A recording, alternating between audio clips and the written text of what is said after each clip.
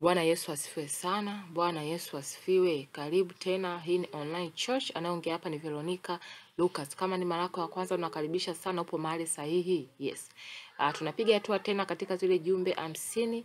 Uh, tumeshaanza pati ya kwanza, tumeshakuja pati ya pili. Nilitoa jumbe kumi, nikaja jumbe saba. Uh, kwa neema ya Bwana leo tutapiga hatua na kama Mungu akipenda basi tutamaliza. Lakini kama tusipomaliza basi pale alipo uh, atakapotuongoza Roho Mtakatifu tutaishia hapo. Haleluya, tambua video hii inatengenezwa siku baada ya siku. Kwa hiyo ninavyoongea hivi unaweza usinielewe, lakini sio kwamba naandaa kwa siku moja. Ninaandaa zaidi hata ya siku mbili, siku tatu au saa nyingine nafika hata wiki kabisa. Haleluya.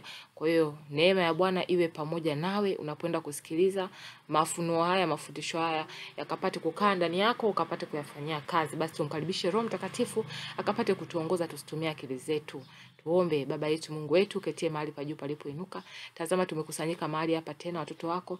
Tunakushukuru Mungu, tunasema asante kwa upendo huu, asante kwa neema hii ulioachilia. Wengi wangetamani kupata neema hii ya kujua ukweli, wa kujua siri za ufalme wa giza ili kuweza kuziepuka, ili kuweza kumjua shetani na kuweza kumshinda, kwa sababu unapomjua adui yako inakuwa ni rahisi kumshinda. Tunakushukuru Mungu, asante mfalme wa falme. Tazama, tunaomba ulinzi wako mwanzo mpaka mwisho wa kipindi hiki, tuwatamie kama kuku anavyowatamia vifaranga.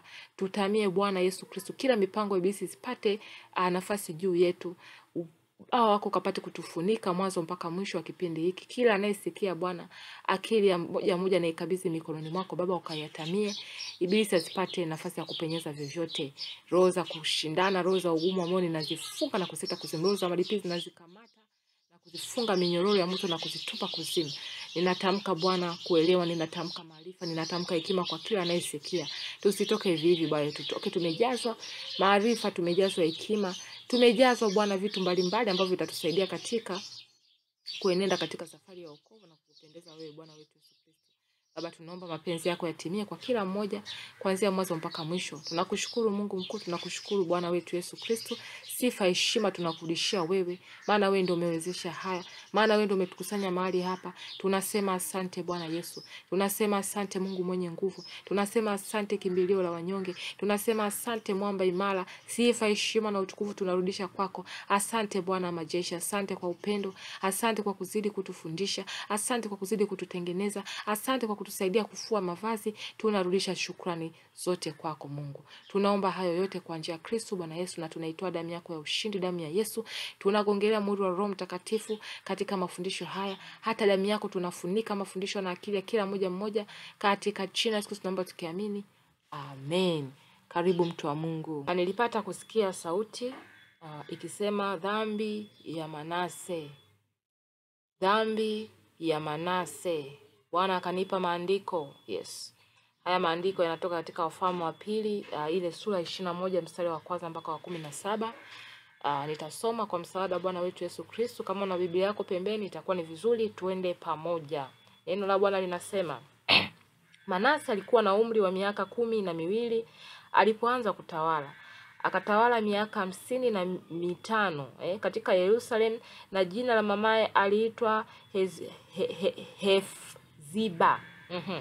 Akafanya yaliyo mabaya machoni pa Bwana, sawa sawa na machukizo ya mataifa aliyowafukuza Bwana mbele ya wana wa Israeli, kwa maana akapajenga tena mahali pa juu alipopaharibu Hezekia babaye akamjengea Baali madhabahu, akafanya Ashera kama alivyofanya Ahabu mfalme wa Israeli. Akajinami, akajiinama mbele ya jeshi lote la mbinguni na kulitumikia. Mhm.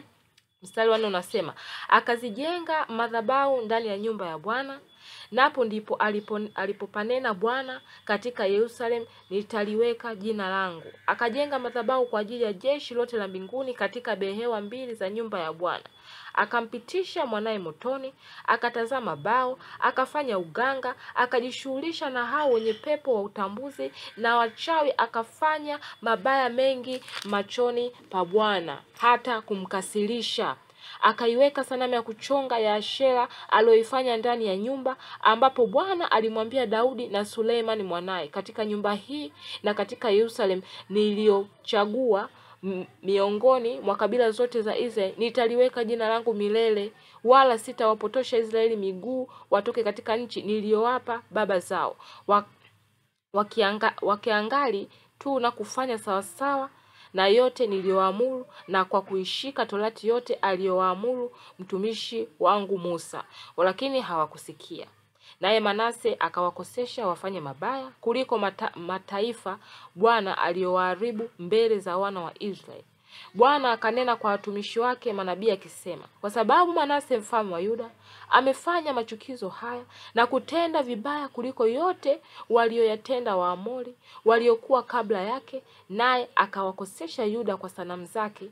Kwa sababu hiyo Bwana Mungu wa Israeli asema hivi, angalia naleta mabaya juu ya Israel ya, juu ya Yerusalem na juu ya Yuda mm, hata kila mtu asikiaye masikio yake yatawasha yote mawili, nami nitanyoosha juu ya Yerusalem kamba ya Samaria na timazi ya nyumba ya Ahabu, nami nitaifuta Yerusalem kama mtu afutavyo saani eh, kuifuta na kuifudikiza. Mm-hmm. Nami nitawatupa ma, ma, mabaki ya ulisi wangu na kuwatia mikononi mwa adui zao, nao watakuwa nyara na mateka kwa adui zao wote, kwa sababu wametenda yaliyo mabaya machoni pangu na kunikasirisha tangu siku ile walipotoka baba zao katika Misri hata leo hivi. Mm? Na Manase akazimwaga damu zisizo na hatia nyingi sana hata alipokuwa ameijaza Yerusalemu tangu upande huu hata upande huu, zaidi ya kosa lake aliyowakosesha Yuda kutenda yaliyo mabaya machoni pa Bwana. Basi mambo yote ya Manase yaliyosalia na yote aliyofanya na kosa lake alilokosa, je, hayakuandikwa katika kitabu cha tarehe cha wafalme wa Yuda? Mm-hmm. hilo ndilo neno la Bwana. Haleluya! Sikia sauti uh, inasema dhambi ya Manase. Haleluya, dhambi ya Manase. Mhm. Ndipo Bwana akanipa uh, iko akanipa huo mstari yes, ambao nimesha kusha kuusoma. Uh, sasa ukisoma hapo utaona kuna dhambi ambazo alifanya Manase mpaka ikampelekea uh, Mungu kukasirishwa na akasema, kwa kuwa Manase umefanya moja mbili tatu, eh, kuna hukumu pale Mungu alitoa. Haleluya. Mm. Tunaona pale uh, Manase alimjengea Baali madhabahu E, akafanya Shela kama alivyo alivyofanya Ahabu, akampitisha mwanaye motoni, akatazama bao, akafanya uganga e, akajishughulisha na hao wenye pepo wa utambuzi na wachawi, akaiweka sanamu ya kuchonga ya Ashera aliyoifanya ndani ya nyumba, akamwaga damu za wasio na hatia wengi sana. Haleluya! Sasa hizi ni dhambi ambazo alizifanya huyu Manase, na tupo wengi ambao tunasema tumeokoka tunafanya hizi dhambi eh, na wengi tunafanya kwa kuwa hatuna maarifa eh, tunaishia tu kuangamizwa, lakini Bwana ni, ni mwenye upendo sana, ameamua kulifichua hili ili yamkini na we ni miongoni mwao eh, yamkini na we ni Manase wa hiyo sehemu unapoishi, yamkini ni Marekani ni Sudani ni wapi, wewe utakuwa unajua mwenyewe eh, Kenya utakuwa unajua eh, upate kurekebisha kabla uh, Mungu aja kupiga mapigo kama alivyosema uh, katika hiki kitabu. Haleluya. Eh, sasa uh, tunaona hapa uh, waga watu tuna ule utaratibu katika chumba eh, inaweza ikawa ni seble, inaweza ikawa ni ni, ni, ni bedroom eh, inaweza ikawa ni chumba chochote, hata chumba ambacho unajisomea, yani tunasema ile library za, za ndani ya nyumba eh au ni chumba ni mtu na library yako, au ni mtu kabisa una library ambayo ni kubwa, yes, umeweka pale, watu wanataka kuja kusoma wanasoma. Inaweza ikawa ni shule eh, chumba chochote kile, tunaikaga hizi meza, unakuta meza imetengwa pale, au unakuta imechongelewa ukutani kama kitebo hivi kimegongelewa ukutani eh, kime kimetandikiwa vitambaa, kimewekewa maua. Maua hayo unakuta tena mara nyingi yanakuwaga ni haya maua artificial, yes. Uh, unawekwa pale picha picha mbalimbali mbali, eh. Unakuta mtu ni meza yake ameweka chumbani, amebandika picha ukutani eh, picha za wasanii wengine unakuta wamekufa eh, wakina Michael Jackson, sijui wakina Tupac eh, au wengine unakuta ni picha tu za wasanii ambao bado wanaendelea eh, wakina Beyonce, wakina Rihanna, ni wakubwa wakubwa, kwa kuwa ni akiwasikiliza na wanapata hivyo. Na mwingine sio hao tu, kaacha kuwasikiliza au ameokoka, amepata kutambua kwamba nyimbo anazoimba hizo secular music eh, zina uvuvio wa mapepo eh. Kwa hiyo mwisho wa siku akasema ngoja niachane nazo, lakini ameweka picha eh, za ma ancestor wake eh, mababu eh, wameshakufa huko, anachukua zile picha zake, sijui nani kafa, mama nani nani, anazipanga pale ukutani, anaweka kwenye frame, anazipanga katika meza eh. Kisha hapo anakuja anaweka na vitu kama maua eh, anaweka na sanamu eh, ni sanamu tu hivi vidogo vidogo unakuta anaweka, na saa nyingine sio sanamu tu, picha tu zinatosha kujenga hizi madhabau eh anaweka na vitu kama accessory mbalimbali, saa saa nini, anaweka vitu kama hivyo vito, sijui vile vinaitwaje, sijui viculture vinini, vyo vyote vile ambavyo watu wengine wanaamini kwamba eh, kuvaa mapambo si shida eh, Mungu anaangalia moyo. Kwa hiyo anakuwa na, ana maireni ana macheni anachukua anaweka pale kwenye dressing table eh, anawasha mishumaa bila kujua hizo zote ni madhabahu unatengeneza eh.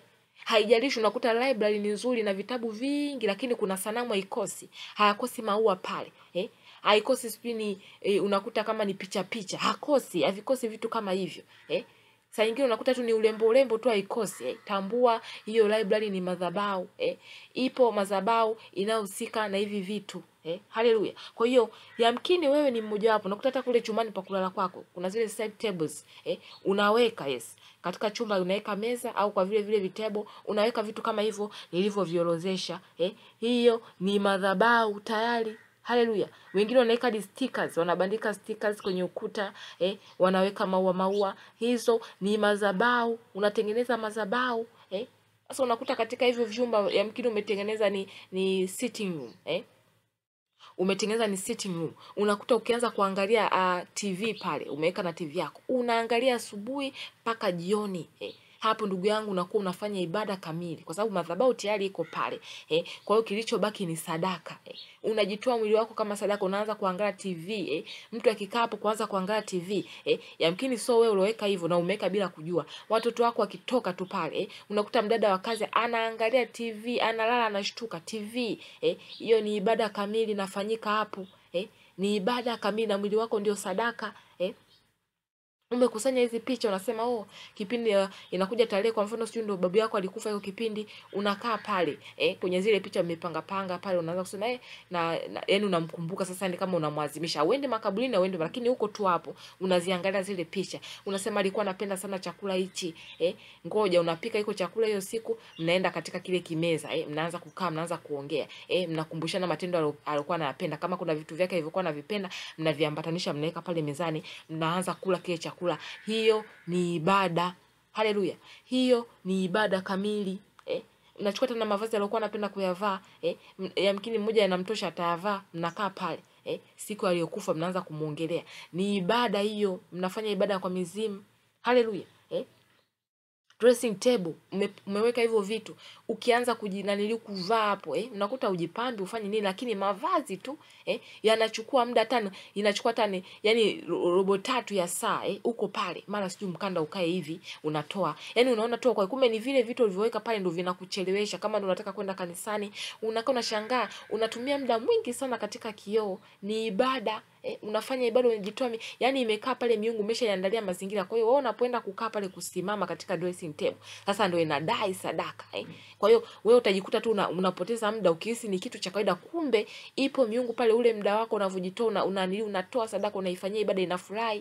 Kwa hiyo utaendelea, itaendelea kukuvuta ukae pale, kile kitu unachofanya unajiangalia, sijui nywele zangu zimekaaje, uso wangu sijui umetoka toka manini, unajichunguza. Yani unakaa kwenye kio muda mrefu, unaenda unarudi, shati hili unalivua, hili limekaa hivi, sijui alijanyosheka vizuri eh, bila kujua unafanya ibada.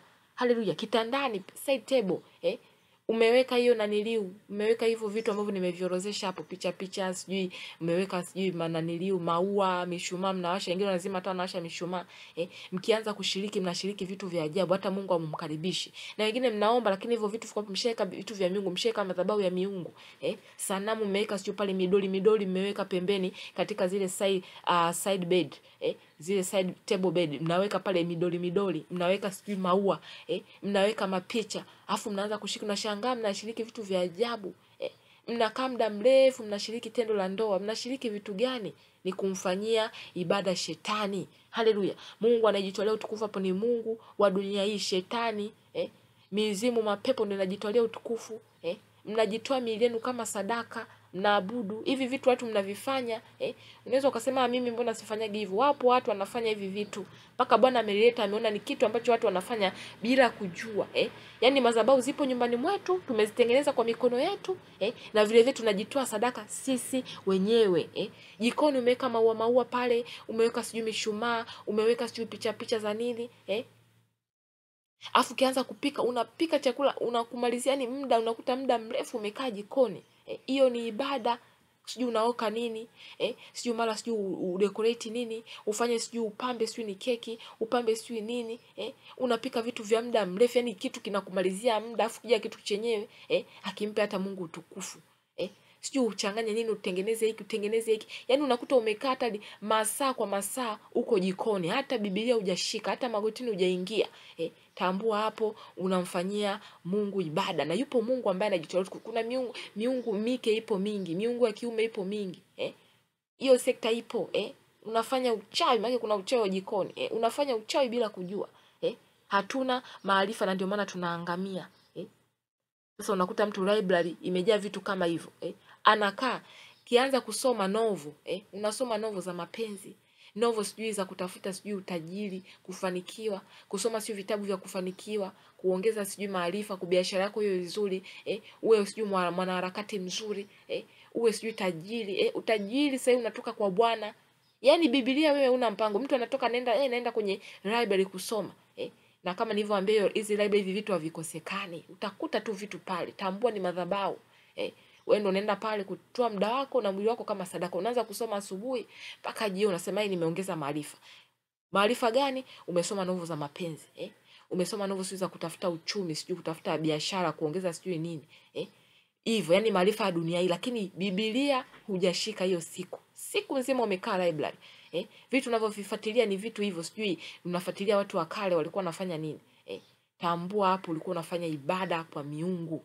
Haleluya, ibada kwa miungu. Eh. Sasa Bwana ameona haya maeneo, yamkini nawe ushafanya hivi vitu. Eh. Tambua umeshafanya hizi ibada, ni kumomba Mungu rehema na toba, na wengine walikuwa hata wana mpango karibuni kwenda sehemu kama hizi. Eh, au kuendelea kufanya kama hivi, kwa sababu hivi vitu kama vifo nyumbani mwetu. Ni vitu vya kuvitoa, kuvibomoa, kuviharibu. Eh. Haleluya, kuviharibu, nyumba zetu ziwe safi eh. Yani mtu akiingia aone kabisa hii ni nyumba ya mtakatifu, sio anakutana na mambo ya maua maua, sijui yamekaa kwenye meza, anakutana na mambo eh, yani unakuta na vitu vimerundikwa pale, sijui kuna ki, mawe mawe ya baharini yamekusanywa pale eh, anakutana na vitu vya stika stika, picha za wasanii sanii eh, picha za wazee, sijui babu yangu mama yangu, yani umekuta family meza, family members wako pale wengi wamepangana eh, yani mtu akiangalia anasema eh, hii nyumba ni nyumba ya mtu aliyokoka, nyumba ya mganga nyumba zetu ziashie, na yamkini ulifanya hivyo bila kujua, ulikuwa una maarifa. Sasa haya maarifa Bwana anaachilia ili upate kusafisha hiyo nyumba yako eh.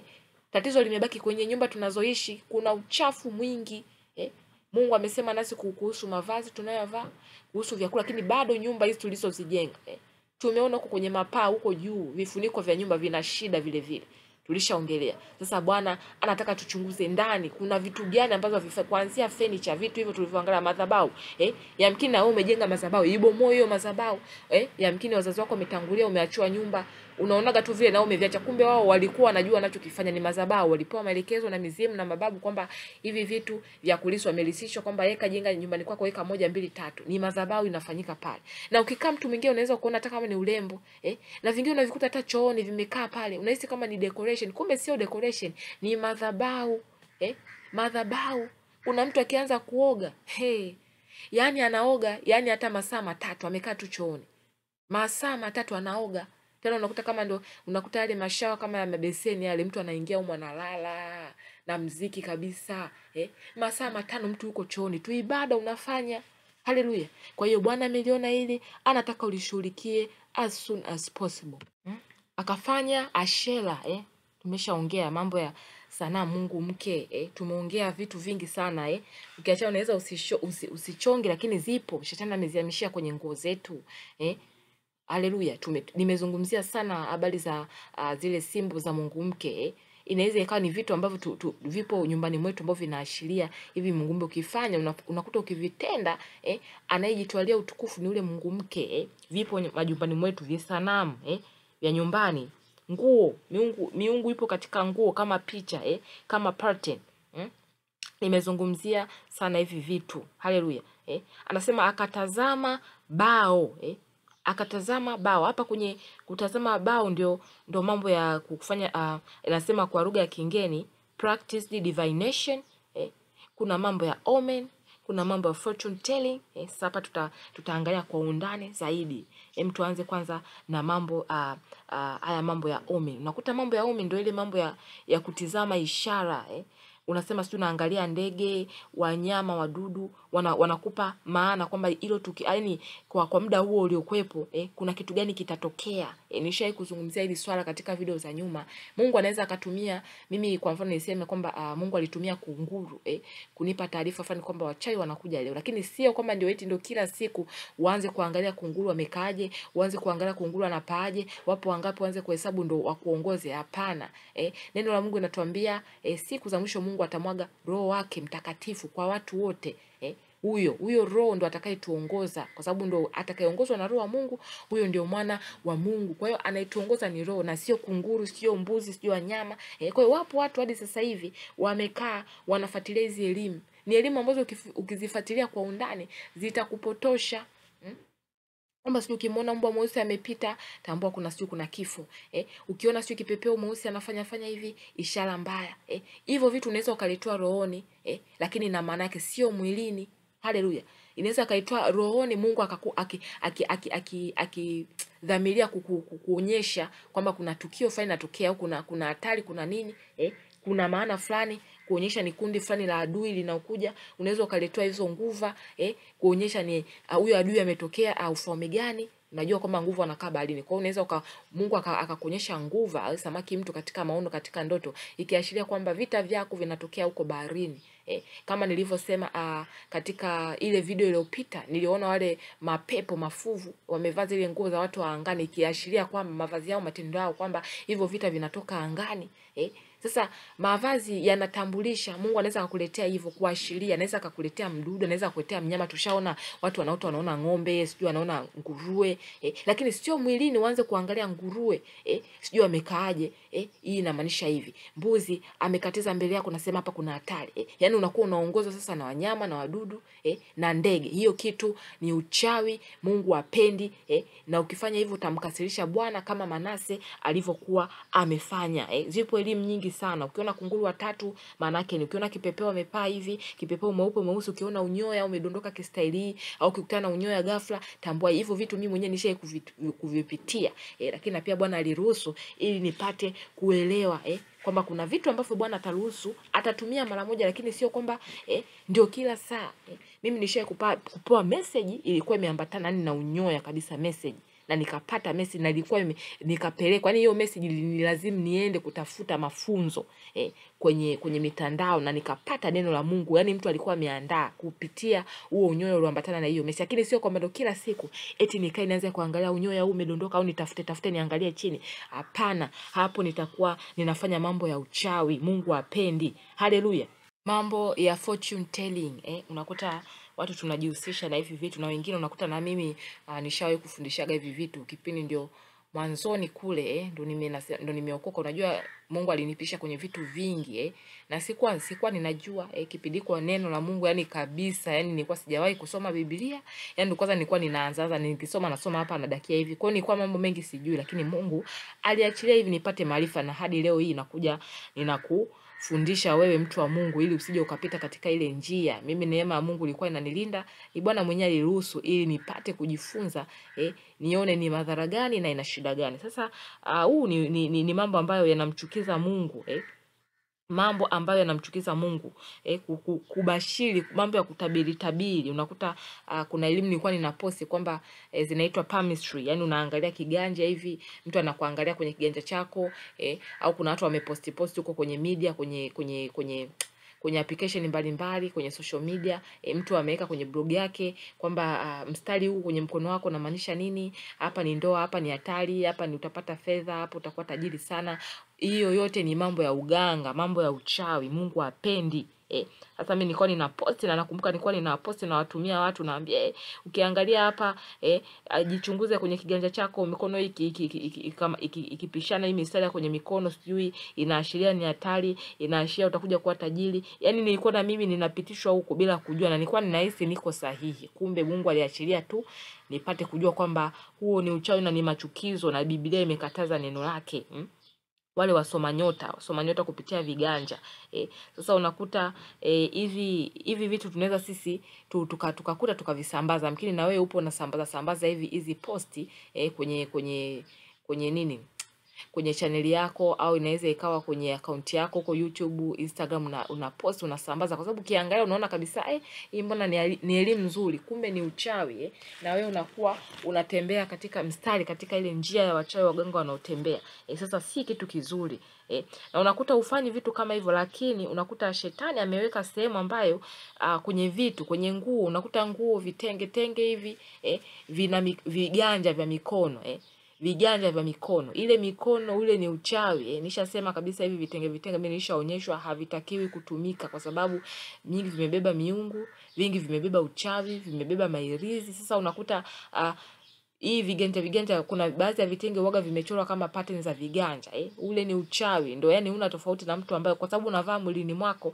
eh, wanaweza wakakufanyia vyovyote eh, wanaweza hata wakakuunganisha. Haleluya eh, ni alama zao unakuta uh, sometimes tuna tuna maduka yetu haya E, tunauza vitu mbalimbali. Sasa tunatumia hizi, kuna vile vimikono vime vimetengenezwa, yani viko molded, vimetengenezwa kama visanamu vya mikono tu, yani ni viganja tu kama nilivyoweka katika picha e, vimeshikilia hiza ni mikoba mikoba pale, ndo unauza mikoba, duka lako la mikoba e, duka lako uh, linauza viatu, linashikilia viatu e, au vingine unakuta e, vipo nyumbani e, kwenye milango kama vitaza. Yani unakuta mtu unasema kwamba ni urembo, kumbe you never know huo mkono ni wa nani eh?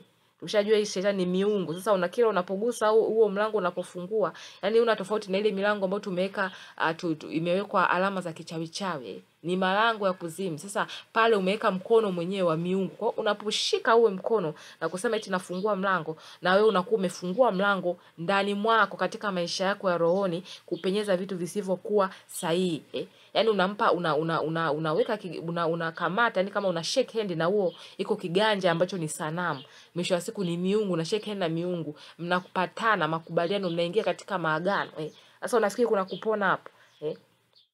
Hakuna kupona eh, hakuna kupona eh. Hivi vitu vipo kwenye maduka yetu, wengine ndo tunauza biashara zetu, tunauza tu hivi mikono, watu wanunua wakafanya hivyo vitu. Tambua unafanya kazi ya shetani. Hivi mik- mikono asili yake ni palmistry, yani imetoka katika mambo ya fortune telling eh. Wamesema ah, kwa kuwa watu wamegundua hivi, ngoja tuvilete hivi mikono eh, hivi viganja. Sasa unakuwa na wewe upo katika kundi la wale wale wanaofanya mambo ya kubashiri eh, unasaidia kazi zao na kuna vitendea kazi uh, vya hivi mambo ya fortune telling, mambo ya ku, ya kutabiri tabiri eh. Wameweka kuna samaki, yamkini wewe nchi unayokaa hujawahi kukutana na hivi, basi wapo ambao hivi vitu vipo eh, na mlikuwa mjui mkahisi kwamba ni, ni yani haina shida yote, haina impact, kumbe ni mambo ya uchawi eh ni mambo ya uchawi na neno litakuhukumu. Ili andiko litakuhukumu eh, utakuwa huna tofauti na Manase eh. Unanunua huyu samaki eh, ameandikwa fortune, anaitwa fish fortune telling, yani kwamba eh, yeye ukimshika huyo samaki kuna namna ambayo atakaa atakwambia hii maana yake kama alivyoandika maelekezo katika hiyo karatasi hapo. Eh, sasa wengi wananunua hivyo, wanataka hivi vitu. Unajua hizi nyakati wapo watu wengi wanataka mambo ya kutabiriwa tu, kubashiriwa eh, kutabiriwa kwamba eh pokea hiki pokea hiki e, pata hivi pata hivi. Sasa ndo naye shetani anaangalia nia, nia za watu, matakwa watu, watu wana kiu gani, ndo hivyo vitu wanavileta. Kwa hiyo akatengeneza hivi visamaki na vitu vingine vinavyofanana na hivi eh, nilisha kuonyesha kwamba ah, kuna vitu vinyamkira vinyamkira vinatengenezwa, kuna vitu vya ajabu ajabu eh, kukuletea sijui kukubashiria. Hivyo vitu vyote ni uchawi eh, ni vitendea kazi Mm. Kuna hizi zinaitwa crystal ball. Tunanunuaga watoto wetu wachezee. Tunaona kwamba ni vingine vimewekwa mule kama vi, vimti vya Krismasi ndani yake. Kuna maji unavitikisa hivi vina, vinacheza. Eh, tushaona Krismasi ni uchawi. Eh, sasa vimewekwa mule ndani vitu vya Krismasi. Lakini sio hivyo, kuna vingine viko plain tu eh, kama hivyo vinavyoonyeshwa hapo. Lakini uh, pia nilipokea maono kuhusu hizi crystal ball. Nili, nilisikia sauti kama yani yani is like inasema kwamba eh, trap soul. Yani is like zina zina trap soul eh, hizi eh, balls zina trap soul kazi yake eh. Sasa kama zikisha trap soul, kinachoendelea hapo ni mambo ya uchawi eh. Ni vitu ambavyo vitaki, ukiangalia hiyo stand yake ya hizo crystal ball ni, ni uchawi. Kuna alama za uchawi, alama za za, za, za uganga za kishetani e, nyingi zao. Sasa unakuta wengine tumeweka maofisini, tumeweka majumbani kama urembo, kumbe ni vitu vya kichawi, ni milango ambayo shetani anatumia. Haleluya! Eh, hatufanyi hivyo vitu vya telling, lakini tunavyochukua hivi vitendea kazi na kuviweka nyumbani eh, tayari tumefungua mlango eh, Haleluya. Kuna kuna michezo mbalimbali, sijui michezo ya, ya, ya, ku- ya kunja kunja karatasi eh, hata watoto wetu waga wanacheza nyumbani. Sasa imagine, jiulize hii michezo aliyeleta ni nani eh, kama sio shetani mwenyewe. Kuna michezo mingi sana ya watoto. Haleluya. Michezo mingi ya watoto ambao tuna ukikaa ukitafakari nani aliyoianzisha eh, mwisho wa siku kama una Roho Mtakatifu utakuja kufichuliwa ukweli tu. Uh, ukiangalia kwa mfano karata eh, karata tumeshazungumzia kwamba mbule eh, ni uchawi eh, ni vitu vya vya uganga eh, ni kuna mambo ya miungu, kwa hiyo si nzuri kucheza. Na kama ulishawahi kucheza eh, ulikuwa unafanya ibada, unajitoa mwili wako, unacheza, unafanya ibada kwa shetani, kwa miungu. Haleluya eh. Kwa hiyo mwisho wa siku hata watoto wetu unakuta uh, unasema tunaweza ukasema kwamba tunaacha hizi karata hizi zenye miungu, tutengeneze karata zetu wenyewe. Kuna ule mtindo ambao watoto wanachukua vile vibeti vilivyoisha wanakata uh, wanakata zile sehemu zenye picha, yani hizi sehemu za kuashia huku pembeni uh, wanatoa zinabaki vile vi- vipisi vi cha juu na cha chini, wanachukua zile wanachora kama ni, ni, ni picha pale, kama ni maua e, zinakuwa vipande vinne vinne eh, kumechi mm? mwisho wa siku wanacheza mchezo wa karata bila kujua zile picha kule nyuma nazo ni picha za uchawi eh. Hizi picha unakuta mara nyingi zinapatikana katika tarot card eh. Tarot nao ni mambo ya uchawi, ni mambo ya, ku, ya kufanya fortune telling. Kwa mwisho wa siku unakuwa ni kitu kile kile eh. Ni kitu kile kile, ni kama uache kanda mbili za Supreme uvae zile kanda mbili za za za perfect. Kwa mwisho wa siku unakuta madhara ni yale yale. Kwa kama kuna mtoto wako ametengeneza hivi ka- vi- vikaratasi, sijui ni ndugu, wengine ni watu wazima tu, wanachana wanazo hivi vikaratasi wameweka ndani. Eh, hawajanunua hizi karata za kawaida hizi zenye miungu, wametengeneza hivi nyingi na wanakaa wanacheza. Hapo anayetukuzwa ni Mungu wa dunia hii, shetani mwenyewe. Haleluya. Kwa hiyo Bwana alitaka tufungue macho. Michezo ipo mingi sana. Kuna michezo ambayo watoto wanacheza lakini sosi yake unakuta ni ushetani eh? Wana, wanafanya nyimbo za kishetani, nyimbo za kichawi, na unakuta wengine kupitia hiyo michezo wanaunganishwa katika uchawi eh? Ukuti ukuti eh? Ni michezo ya kichawi eh? Unakuta michezo sijui garibovu garibovu eh? Unakuta wanaimba lakini hata ukisikiza nyimbo zenyewe Mungu ajitwalie utukufu eh? Sijui zunguka huko pita huku tupite tumfinye mchawi. Yaani unakuta ni nyimbo za kichawi eh, na wanaoanzisha unakuta ni vitoto vile ambao unakuta ni vitoto ambavyo ni viagent, vitoto vichawi eh, vinakuja vina vina vinaambiwa kashirikisheni watoto wenzenu eh, ili muwaunganishe kwenye uchawi eh. Mikono sijui unasema kinyuli nyuli, unaekeana sijui una, yani mnapatanisha mikono pale pale pale, kuna uchawi unapita, na ndio maana Mungu anataka tuombe sana watoto wetu, tuwaekee mikono, tuwaekee ulinzi wa damu ya Yesu eh. Una watoto basi, ombea watoto wa dunia nzima, wapo watoto sehemu mbalimbali eh uchawi mwingi unapitishwa katika uh, hii michezo ambayo watoto wanacheza. Unakuta watoto wanacheza sijui Spiderman, sijui unakuta ni kwa mfano hii hii, Spiderman, yani unakuta watoto wengi sasa hivi ndio wamekamatwa nayo eh. Spiderman ni lipepo. Kwa hiyo unakuta kushoni wanaekewa, wanawasikia watoto wenzao, mtoto wako umwekee hivyo vitu, lakini unakuta hawa watoto wanaokutana nao wanaangalia huko kwao. Kwa hiyo wakija kucheza wote eh, au wakija kukuta tu wanacheza, vinakaa vinaingia, ni vitu vya kuambukiza, na wengine unakuta ni vitoto vya agent, vinafanya vile makusudi tu kuambukiza. Kwa unakuta mtoto wako anaanza kucheza na hii michezo, haangalii TV, haangalii nini eh, katuni haangalii, hujampa vitu vya katuni, lakini mwisho wa siku unakuta naye anatamka hivi vitu eh, ni kupitia hii michezo eh, huko mashuleni wanacheza hii michezo eh, uchawi wanapandikizwa maroho kupitia hii michezo. Kwa hiyo tuna haja kubwa ya kuombea watoto wetu eh. Sasa kama mtoto mdogo tu kashashirikishwa mambo ya uchawi, usiku anatumika kwenye vitu vya uchawi eh, unafikiri akisha kuwa kwenye kwenye kwenye stage ya ujana anakuwaje? Ni hatari sana. Kwa unakuta shetani hataki kuacha mlango wote kwa watoto, atakamata vijana, atakamata hasa hizo hizo hizo hizo stage eh Ukisha kuwa mzee kule nguvu zimeishaisha kidogo, lakini katika vijana vijana kushuka huku chini anawatafuta sana wengi eh. Kwa hiyo mtu wa Mungu, Bwana ameachilia maarifa, usiache kuombea watoto wako eh. Unaweza mwambie mtoto wako kama ufahamu wake uko vizuri, yani ame, amefika ya kuelewa, mwambie bwana, hii michezo achana nayo eh, tena kama ikiwezekana wahubirie watoto wenzako, ache, unakuwa unapunguza ile damage eh, unakuwa umepanda mbegu. Haleluya, kuliko kukaa kimya unasema tu nitamwombea. Lazima umwambie kwamba huu mchezo sio, huu ni mchezo wa kishetani, huu ni mchezo wa kichawi. Bwana anapotuambia haya yote ni kwa sababu anatupenda. Yes, ni kwa sababu hataki tuangamie. Kwa sababu pale ukisoma katika ah, hiyo uh, Wafalme wa pili niliyotoa hapo kifungu, mwisho wake anasema uh, Bwana atafanyaje? Ataleta mabaya juu yako wewe ambaye usikie. Umesikia haya madhara yake, umesikia, umefafanuliwa madhabahu ni ipi mm? umefafanuliwa vitu gani ambavyo vinamchukiza Bwana, vinamkasirisha Bwana eh, lakini usiposikia Bwana anaenda kuleta mabawa juu yako eh. Utatiwa mikononi mwa adui. Yaani kutiwa mikononi mwa adui ndio utashangaa shetani uh, mawakala wale maagent wa shetani wanakuweza eh, ndotoni unapata mashambulizi, unashindwa eh, unalishwa lishwa vyakula tu eh, yani nakuta kila ukilala tu ni, ni mateso ni mateso, mara huyu amekukimbiza, mara sijui umeng'atwa, mara sijui umepigwa risasi, yani ni mashambulizi na maisha yako mwilini unakuta hayaeleweki eh.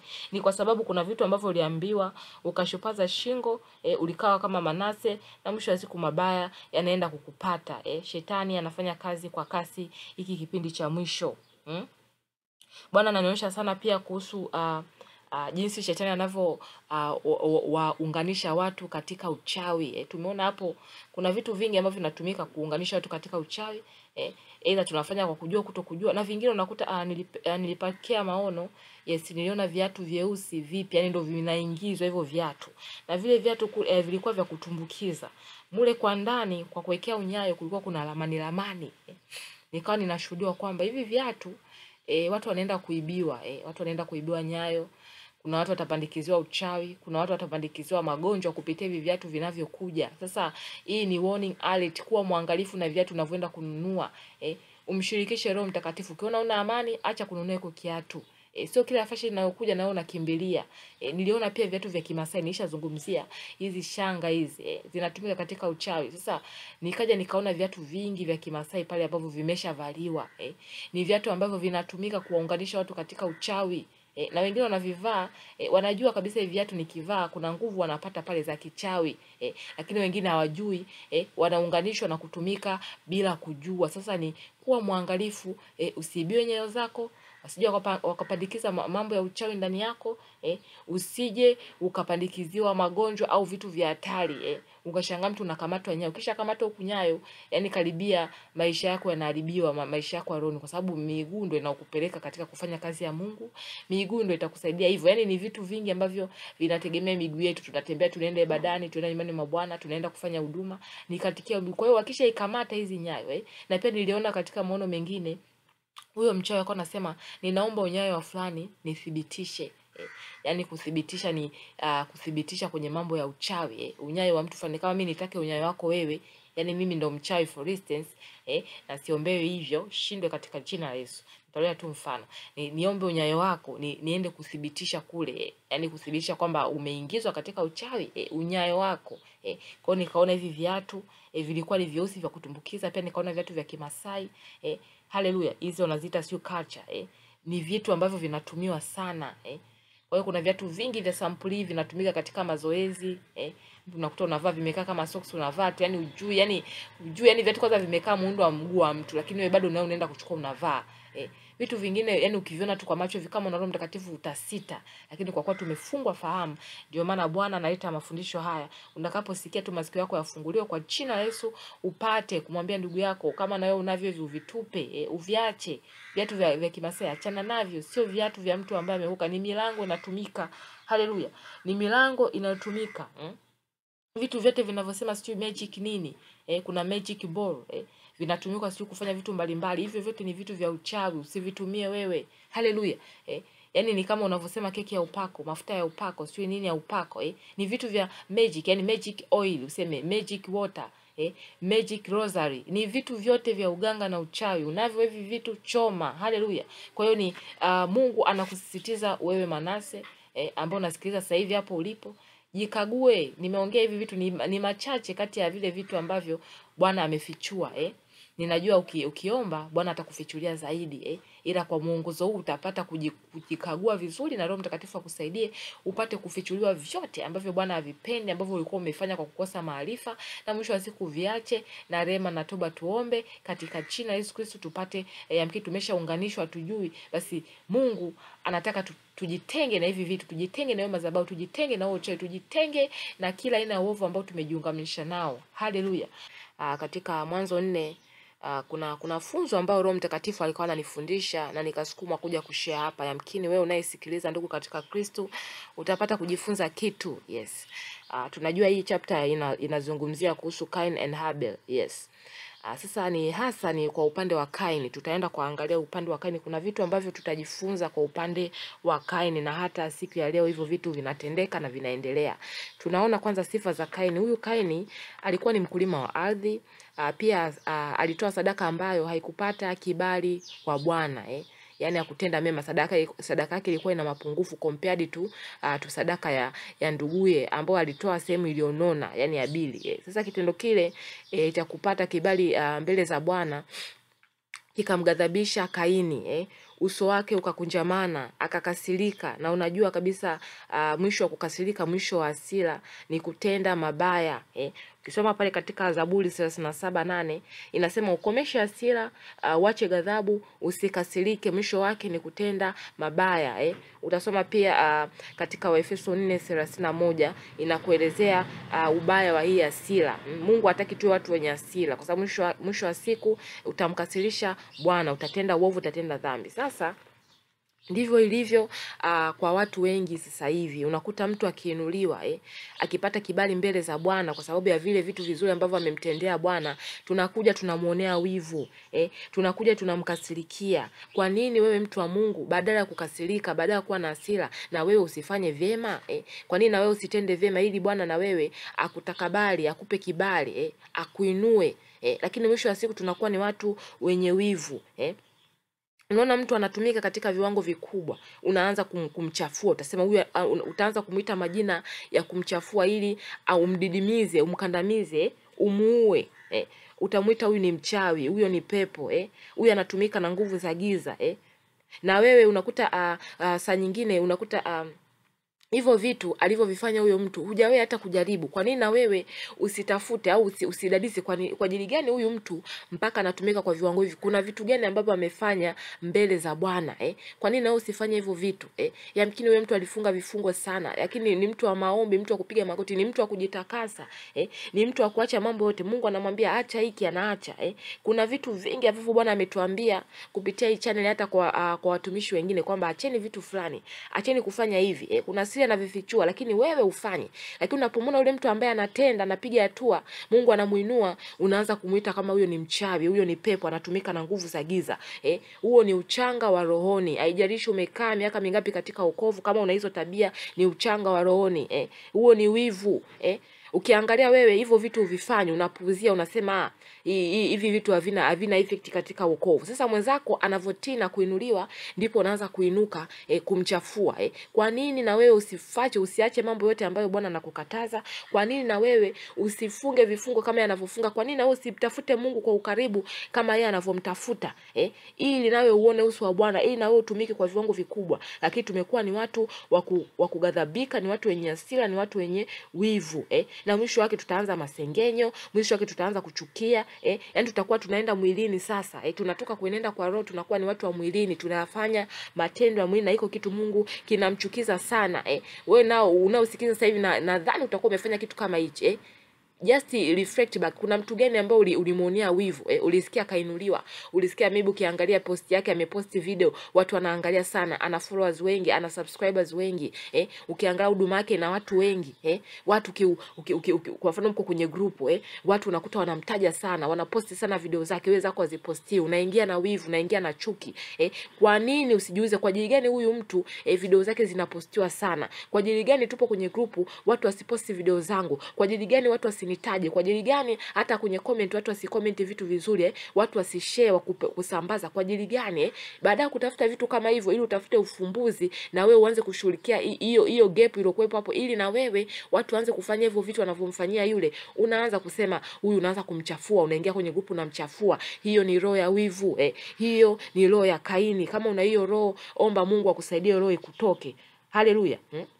Na kinachofuata baada uh, tunaona kilichofuata baada ya Habili kuwa na hasira akaenda akamuua uh, amini Kaini kuwa na hasira akaenda akamuua nduguye Habili akamwaga damu yake katika ardhi, ardhi ikafungua kinywa ikainywa ile damu ya Habili. Na ndivyo hivyo tu, tulivyo uh, katika safari hii ya wokovu eh, unakuta kinachofata ni kuua huduma ya mwenzako wewe mwenye wivu wewe mwenye hiyo roho ya kaini. Unaua huduma ya mwenzako eh, unamwaga damu kwa maneno yako. Unajua maneno ni upanga eh, utaongea maneno utasambaza maneno kwa watu kuhusu huduma ya mtu fulani eh, kuhusu karama ya mtu fulani eh, utamchinja huyo mtu. Tunatofautiana. Kuna watakaoweza kustahimili watasurvive lakini wengine kunakuta ni wachanga. Ndio kwanza wanaanza kwenye huduma. Mungu anawatumia kwa viwango vikubwa eh, wana neema ya bwana. Lakini unainuka wewe ambao hujatumika katika hivyo viwango unainuka wewe ambao eh, mungu hajakutumia katika hiyo levo unaanza kumkata kwa maneno unamkata eh, kwa maneno yule mtu unamchinja unamwaga damu huduma yake mwisho wa siku inakuja inakufa eh, karama yake inakuja inakufa eh, lakini chanzo kilikuwa ni nani ni wewe mwenye wivu ni wewe mwenye chuki ni wewe ambaye unasambaza maneno mbaya kwa watu kuhusu huduma ya mtu fulani eh. mlikuwa mnatembea pamoja katika huduma yamkini mungu aliwaambatanisha pamoja eh. mlikuwa mnatembea moja mko katika kanisa mungu anawaambatanisha mnashirikiana. Sasa unapoona muona mwenzako anainuliwa eh, mungu anamtumia watu wanamuulizia yeye sana. Unaona mbona mimi yamkini huduma yangu itazimishwa eh, atatambulika huyu nakati mimi ndo mwenye mwenye hii huduma sio nini na nini. Unaanza kumchafua utamwita huyu ni mchawi utamwita huyu ni pepo eh, utamwita huyu sijui na anatumika na nguvu za giza na hata ku, kupelekea kumfukuza pale hata kupelekea kukata mawasiliano naye eh, utaanza kumchafua kwa watu kwamba huyu mtu sio mtu mzuri eh, na ukiulizwa mwenzako yuko wapi uliokuwa unashirikiana naye utaanza kutoa majibu yasiyokuwa na maana. Kama alivyokuwa anajibu huyu e, Kaini alivyokuwa anamjibu Mungu. Bwana anamuuliza ndugu yako yuko wapi? Anajibu vitu vya ajabu ajabu tu e, na ndivyo tulivyo wengi tuna majibu ya ajabu. Baada ya kutenda ubaya e, baada ya kuua huduma za watu baada ya kuua karama za watu tukiulizwa eh, fulani yuko wapi? Tulikuwa tunakuona uko naye unashirikiana naye katika huduma yako. Utajibu majibu ya ajabu eh, utajibu majibu yasiyokuwa na maana hmm? Sasa iko e, kinachofuata hapo ni laana. Tunaona kilichofuata kwa kaini ni laana. Na ndivyo wengi tunakuta tunatembea na laana katika huduma zetu bila kujua eh. lakini chanzo ni nini? Tulishaua huduma za wengine tulishaua karama za wengine tulishaua eh. tuliwaua huko tukawaacha wala na tukawachafua eh. Tukabaki sisi tukijiona kwamba sisi sasa ndo tumewini tumebaki katika hiyo position. Kumbe ni unatembea na laana. Haleluya. Unatembea na laana ya kusababisha kifo cha huduma ya mtu haleluya sasa bwana anachukizwa na hayo mambo eh. bwana anasema dhambi ipo malangoni mwako eh.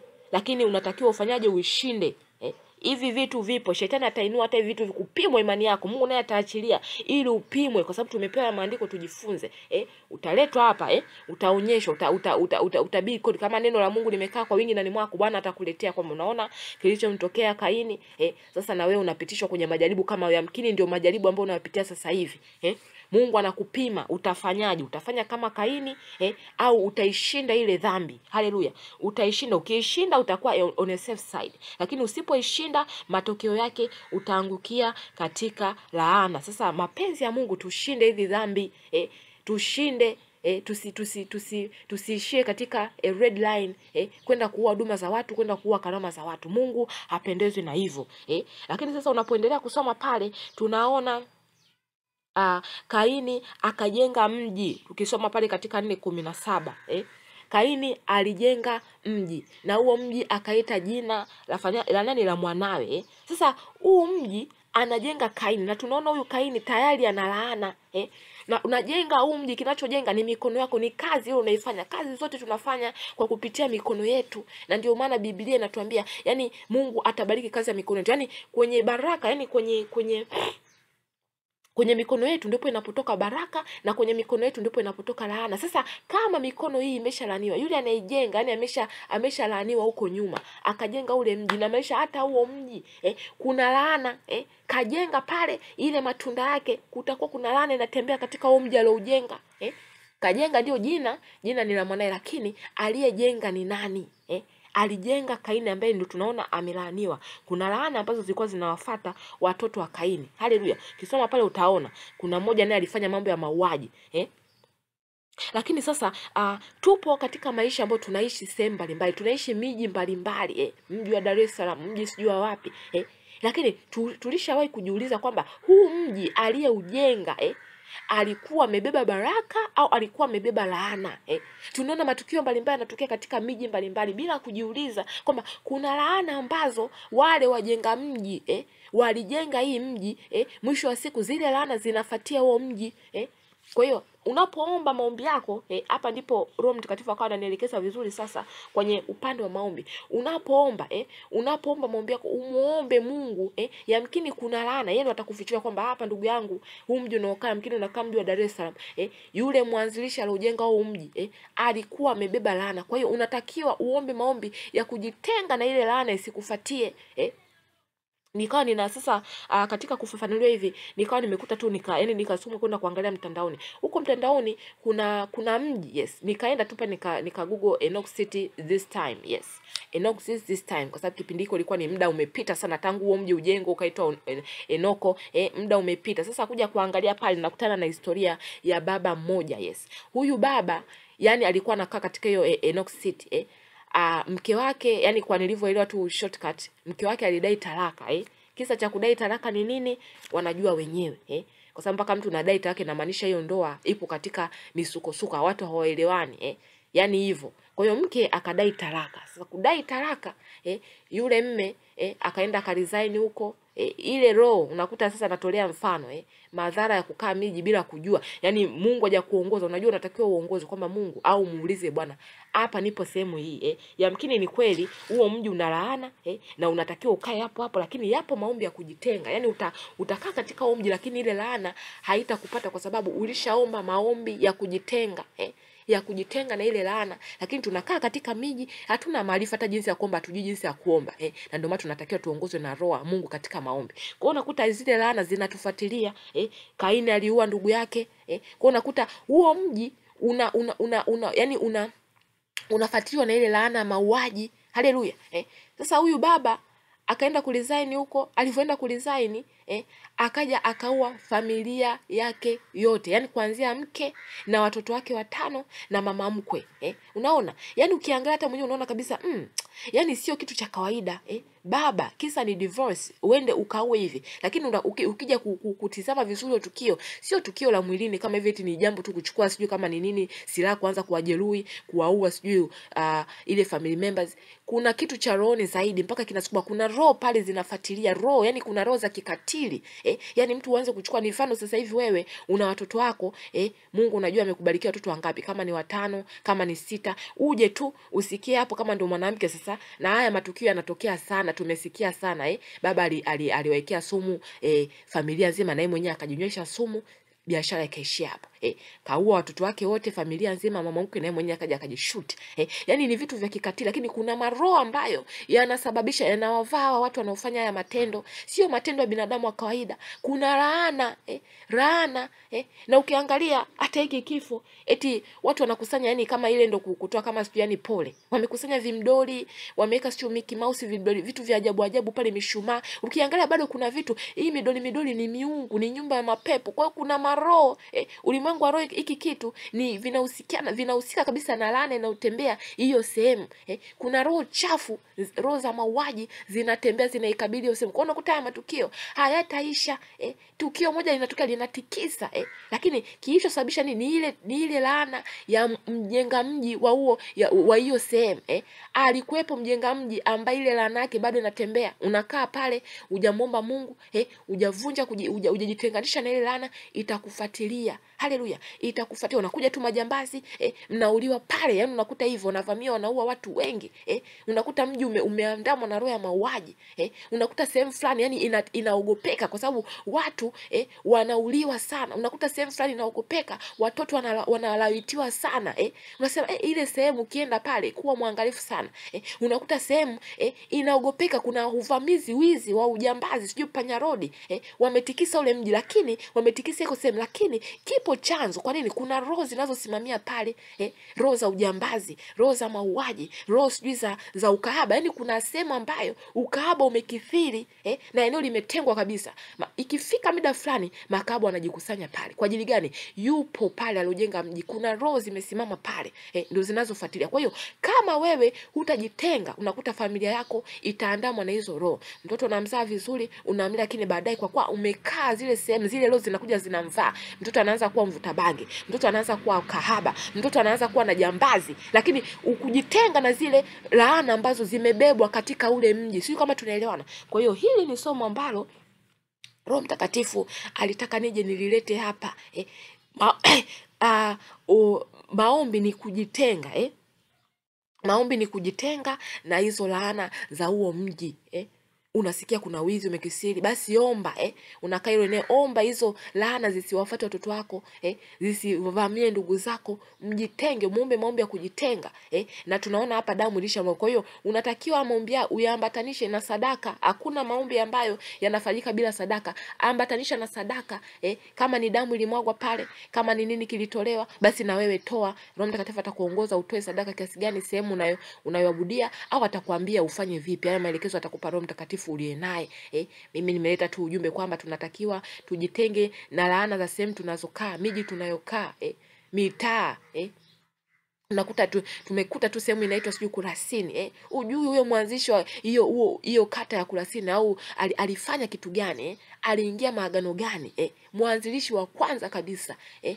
Inaitwa sehemu sijui eh, mi, unakuta mitaa inaitwa majina mbalimbali eh? si Gongo la Mboto eh? Sijui inaitwa wapi eh? Las Vegas sijui wapi eh? Hujui huyo mwanzilishi wa hiyo sehemu aliingia maagano gani, alifanya jambo gani likapelekea lana Unakuta iko kisehemu ni makahaba tu eh? Watu wanajiuza tu, yani kila ukienda pale unakuta wamekaa hiyo sehemu eh?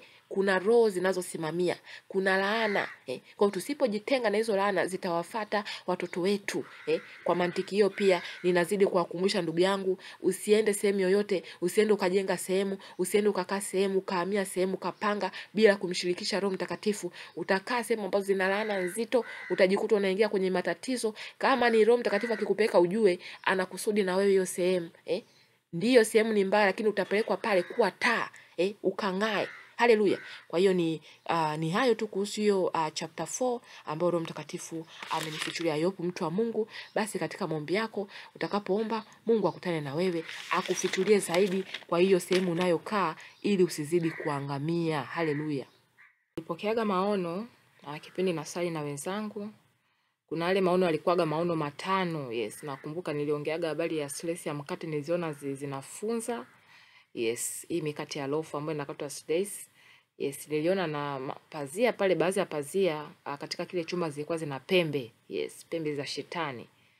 Ah, na niliona vile vile ah, katika hayo maono matano ni, niliona uh, sketi ilikuwa ni chumba hivi kama cha zimewekwa zile henga, unajua zile zile henga za kutundikia nguo kwenye haya maduka ya nguo zinakuwa kama zimekaa kama ki, ki, ki, ki, kikabati hivi yes.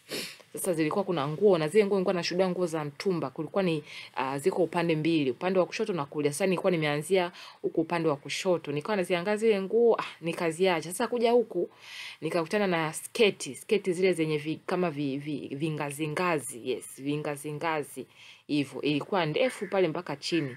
Nikaiona tu vile basi, na hayo maombi uh, tulikuwa tunaomba maombi ya rehema na toba, ndipo nikapata hayo maono yote eh. Nikipataga maono kwenye kwenye rehema na toba na napata kufahamu kwa hiko kitu ni kitu kisichofaa mbele za Bwana. Haleluya! Nilishazungumzia maono mengine. Sasa uh, Bwana akanifungua akanifungua ufahamu wangu kuhusu hii sketi. Nilikuwa nawashirikisha wenzangu, niliwaambia nimeona moja mbili tatu eh. Sasa nguo za mtumba niishaambia nguo za mtumba sio nzuri, ni nguo ambazo zina maroho, hujui nani amevaa eh? Ni nguo ambazo ni, ni chafu, takiwa kuvaa mtu uliokoka. Bwana yetu ni tajiri, atakupa fedha tu kashone nguo nzuri eh, hivyo. Haleluya. Sasa uh, nikapata kufahamishwa kitu eh, na maandiko haya yanatuambia hivi, ukisoma hapo katika waraka wa kwanza wa Yohana sura ya pili mstari wa kumi na tano pale nitasoma kwa msaada wa Bwana wetu Yesu Kristo. Neno la Bwana linasema msiipende dunia wala mambo yaliyomo katika dunia. Ha? Mtu akiipenda dunia, kumpenda Baba hakumo ndani yake. Maana kila kilichomo duniani, yaani tamaa ya mwili na tamaa ya macho na kiburi cha uzima, havitokani na Baba, bali vyatokana na dunia. Eh? Na dunia inapita pamoja na tamaa zake, bali yeye afanyie mapenzi ya Mungu adumu hata milele. Haleluya. Neno la Bwana, hilo ndilo neno la Bwana. E, sasa neno la Bwana linatuongoza. Hii ndio taa miguu yetu inatuongoza, tupite wapi, tuache vipi, tufanye kipi.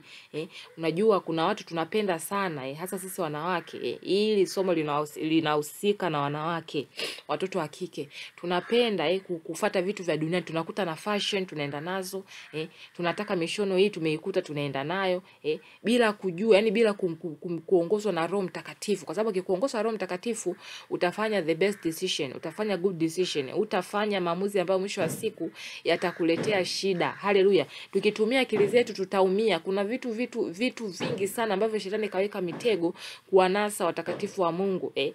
Sasa nilikuwa ninaelezewa kuhusu uh, hii sketi eh, huu mshono Haleluya. E, nishazungumzia nikamwambia jamani kama unaweza ni ili ushone gauni lako limenyooka chini sha, yani uh, unashindwa kushona kanzu maana kanzu ndio imenyooka eh. Lakini kuna mishono mingine ambayo unashona tu imenyooka, lakini mimi huaga ninakuwa comfortable zaidi ninaposhona kanzu. Yani unavaa unakuwa una amani. Yes. Kama uwezi basi Roho Mtakatifu atakuongoza. Kuna magauni mengine sio kanzu, yamekaa ni ma, marefu yamenyooka tu. Unaweza ukayavaa hayo. Haleluya. Yana mikono mirefu, yanaficha shingo. Kama yana, yana shingo yake ni fupi basi utatafuta mtandio na namna ya kukava nimeshaelezea. Eh, haleluya. Sasa kuna hii style ambayo watu wanashona, unakuta kitambaa ndio plain eh, lakini gauni halijanyooka, wanaweka sijui vi- vinakuwa vimeungwaungwa huku chini kama vipande, vinakaa kama e, kimechanua chanua hivi e, au unakuta kinakuwa kimepakana pakana, yani ki, vi, vi, vi, vile vimalinda vimeunganishwa e, vimepandikizwa kama hizo picha zinavyoonyeshwa e. Sasa watu wa Mungu, huo ni mtego mkubwa. Una gauni kama hili, tafuta, mwambie Mungu ufanye nini e. Kama utalitatua ulinyooshe, linyooke, haya. Kama inashindikana, basi fanya vile uwezavyo. Roho Mtakatifu atakuongoza. Nilikuwa na gauni ambalo lilikuwa refu, yani hapa katikati lina mpira, lakini mimi nikivaa ule mpira unibei kwa sababu nimepungua sana eh.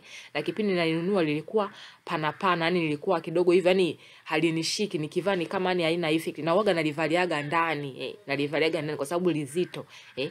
E, ilikuwa lina kitambaa huku chini kimeunganishwa eh, kimeunganishwa kama hivyo eh. Sasa nikawa nashangaa nakosa amani, lakini baadaye nikakuta tu nimekitatua kile kitambaa kule chini, na nikasema kwa kuwa ninavaa ndani haina shida, nikakitatua huaga ninalivaliaga ndani eh, hivyo. Sasa nikaja nikapata maarifa eh.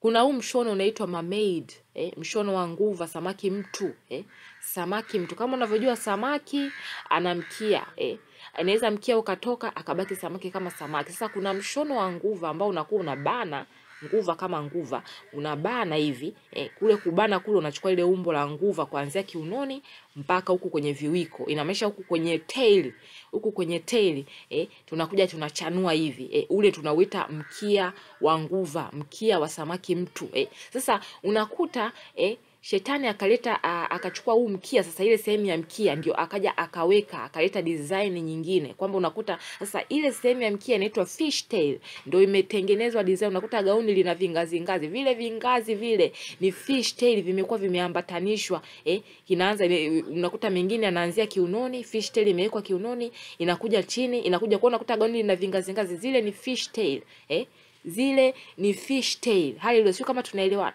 eh. Unakuta lingine halijaunganishwa vingazi, lakini vimeshonwa vimeambatanishwa, yani inapoishia fish tail moja inakuja inaunganishwa fish tail nyingine eh. Na ndivyo hivyo inavyofahamika. Hata ukigoogle fish tail uh, unaweza ukagoogle uh, fish tail gown eh. fish tail undergarments eh fishtail hivyo unakuta zinakuja zile eh, tena hizi ambazo zinakuwa layered layered fishtail unakuta zinatokea hizo nguo ambazo nimekuwekea hapo eh. Kwa hiyo hizo ni mikia ya samaki samaki samaki mtu kama unavyoona nguvu inakuwa inabana inaachia huku chini, kile kinachoachia ndio ndio mkia wa samaki. Sasa ule mkia wa samaki unakuja unaambatanishwa kuanzia kiunoni inashuka, wengine unakuta hata mikono inaambatanishwa hivyo hivyo eh. Sasa unakuta mtu amevaa gauni lakini mshono wake ni, ni gauni ambalo ni fishtail, lime- lina fishtail zimeunganishwa unganishwa eh. Haleluya. Eh, sio kama tunaliwa Roho Mtakatifu akushuhudia ninavyoongea hivi, akushuhudia kufungue fu, fu, fikra zako, fahamu zako upate kunielewa. Eh, sasa unakuta watu wanashona. Na nishai kumuona mtu amevaa yes, amevaa ili gauni la hivi eh. Ulimwengu wa roho lilikuwa lina milango eh, ni milango ambayo adui anatumia ni milango ambao adui anatumia. Sasa kama una gauni la hivi, we mwenyewe unaweza uka, ukajua Mungu anaweza akakuongoza ufanyeje. Eh, huu ni mtego ambao adui anatumia. Nikasema ah, mimi kwa kuwa nimefahamu, waga tu nikimwona mtu personal ameshona, namwambia hivi personally, kumshauri. Sasa inategemea mtu atafatiza au ataacha, kwa sababu kwa kuwa kila mtu anaye Roho Mtakatifu, waga naambia tu wamuulize Mungu hivyo eh na Mungu ni mwaminifu, atakwambia tu kile kitu, kwa sababu alionifichulia hivi ni Mungu mwenyewe, ni Roho Mtakatifu wake eh. Sasa Ah, hii hizi nguo eh, ni milango ambayo adui anatumia. Unayo hii, kuna wengine ni watoto wanashona watoto wao eh, umeshaambiwa eh, shona kanzu, shona gauni iliyonyooka eh, hizo staili zingine ni milango eh, nishazungumzia gari Malkia wa Pwani, kuna video nimeiposti Malkia wa Pwani eh, nimeona nimeonyesha mishono mishono, sijui kuanzia mikono jinsi inavyobanabana, ni mishono ya Malkia wa Pwani. Kwa hiyo mwisho wa siku kuliko unakuja unagundua hii gauni umeishona mwenyewe ndio kwanza mpya,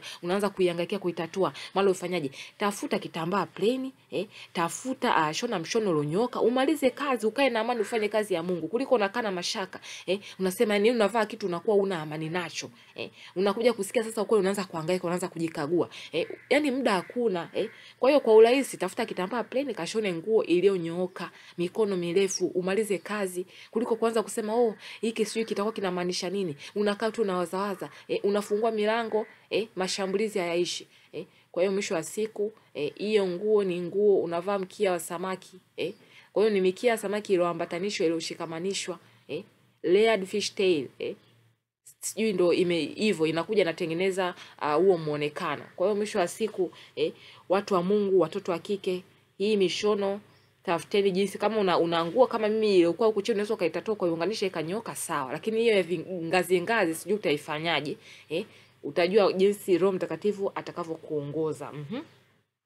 Na kitu kingine uh, tulikuwa tunaombea uh, watoto yes, watoto sasa. Nikaona mtoto mmoja ana yuko bafuni anaoga yes lakini kuna zile kopo za sabuni ya maji ambao waga tunaogega sabuni ya maji eh. Najua kuna sabuni za kunawia eh, kuna sabuni za maji hizi za kuogea. Sasa nazungumzia zile za kuogea. Nilikuwa naona kile kikopo kile kidispensa kile cha kuwekea sabuni kipo, yani kimejiviringa viringa mithili ya nyoka, alafu kile kidispensa cha cha kutolea sasa sabuni ni ndo kichwa cha nyoka. Kwa hiyo yule mtoto anavobinya eh, nikawa ninashuhudia sasa katika maono, anabinya sumu inatoka, anajipaka. Kwa hiyo unakuta mwisho wa siku anapata shida, anapata matatizo eh, ni mlango mwingine adui anatumia, anapata uharibifu mapando, anapandikizwa vitu vya ajabu eh.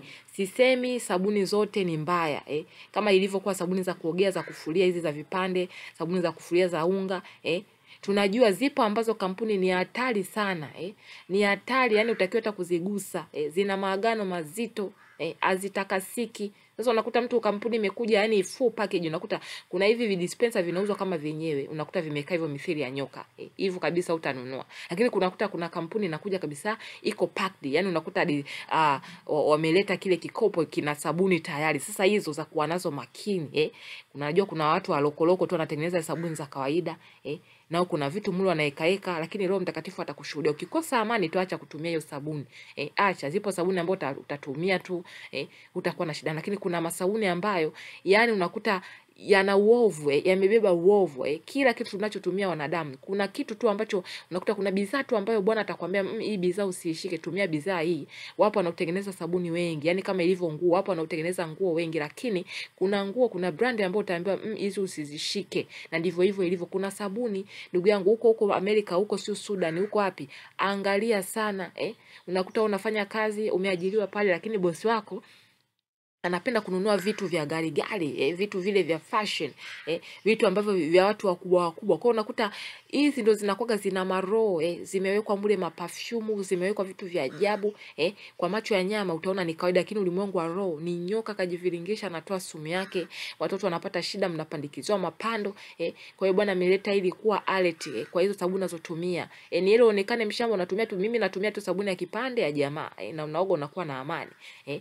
Kwa wale wa ambao wanakaa Tanzania sijui huko naniliu nchi zingine kuna sabuni ambazo ni ziko za za mche tu za vipande ziko free ambazo hazina shida zozote, nyie mtakuwa mnajua, na kuna watu ambao wameongozwa kutumia sabuni. Lakini kwa Tanzania mimi waga natumia ile jamaa ile e, jamaa ile kabisa ile kama ina yani rangi kama sio ni, ni ya orange sio ni rangi gani ile kama ya kijani kijivu, maana kuna jamaa zingine ziko lemoni ziko nini zinakuwa taize na maperfume eh. Kwa unakuta unaogea na unakuwa una maana umezoea eh, haleluya, na unakuta ni upate shida yoyote eh. Sasa kuna sabuni za vipande lakini zina shida.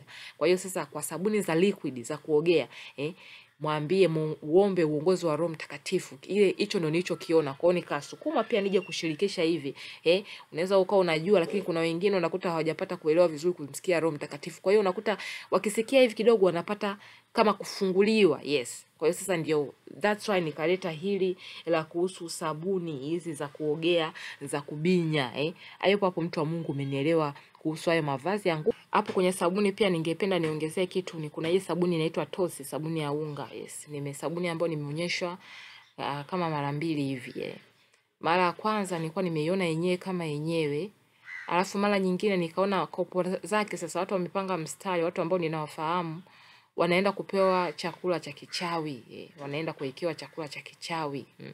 Nilikuwa nimelikamata lile kopo kabisa, akaja huyo mmoja ambaye alikuwa anaenda kupanga ule mstari akanipokonya, akaenda katika uh, kupanga ule mstari kwenda kupokea kile chakula eh. Kwa hiyo sasa kiangalia hilo kopo kama nilivyosema, kuna makampuni ambayo yana maagano mazito eh, yani ni maagano yako wazi wazi. Ukiangalia ukopo kopo hapo, kuna upinde wa mvua na tunajua upinde wa mvua unaashiria agano eh. Sasa unakuta eh, kuna siri zaidi ya hilo agano eh. Kuna vitu vyovu ambavyo mtu anapotumia hiyo sabuni, kuna vitu ambavyo anajiungamanisha navyo eh. Haleluya eh, na ndio maana mpaka Bwana analeta uh, vitu kama hivyo anakileta katika maono, namaanisha ni kitu ambacho ni utakiwi kukishika kabisa eh. Angeleta angesema sabuni zote hazitakiwi, lakini ameleta hii kampuni e, ameleta hii brandi e, hii sabuni ya Tosi, na maisha kuna zingine Mungu ataziachilia tutumie, kwa sababu bado tupo dunia, lakini kuna zingine atakwambia achana nazo eh. Maana nikishaleta hivi, kuna mtu atasema hey, kwa tusitumia sabuni zote za unga. Hapana, kile ambacho kinagusiwa hapa eh, ndicho hicho kifanyiwe kazi eh. Achana kutumia na hii sabuni ya Tosi eh, achana nayo eh, ni sabuni ambayo ukishatumia utaingizwa katika maagano eh, maagano ya tai. Tupo katika ku, kupambana kuvunja maagano ya shule tulizosoma, maagano ya chuo tulizosoma, maagano sijui ya kan, makanisa tuliotoka, makanisa ya ajabu, tunakuta tuliangukia makanisa ambayo eh, sio Mungu wa kweli, ni uganga unafanyika. Sasa tulishatoaga sadaka tukaungamanishwa na hizo madhabahu. Eh, kwa tuko tupo kujitoa katika hayo uh, madhabahu eh, hayo maagano, lakini sasa tuje tukajiingize tena maagano mengine, hapo tutakuwa tunacheza hadi ile watu wengine wanahangaika eh, maaga, maagano bado yako vile vile. Wanavunja, lakini kuna vitu sijui havijakaa vizuri, yale maagano nakuta yanaendelea kuwafuatilia. Kwa hiyo nakuta ni, ni mbaya zaidi kama tukiendelea kujifungamanisha kwenye maagano mengine. E, tupo nyakati za hatari sana. Kwa hiyo unapoambiwa kitu, mtu wa Mungu, wewe nenda akathibitisha, ufanyie kazi eh.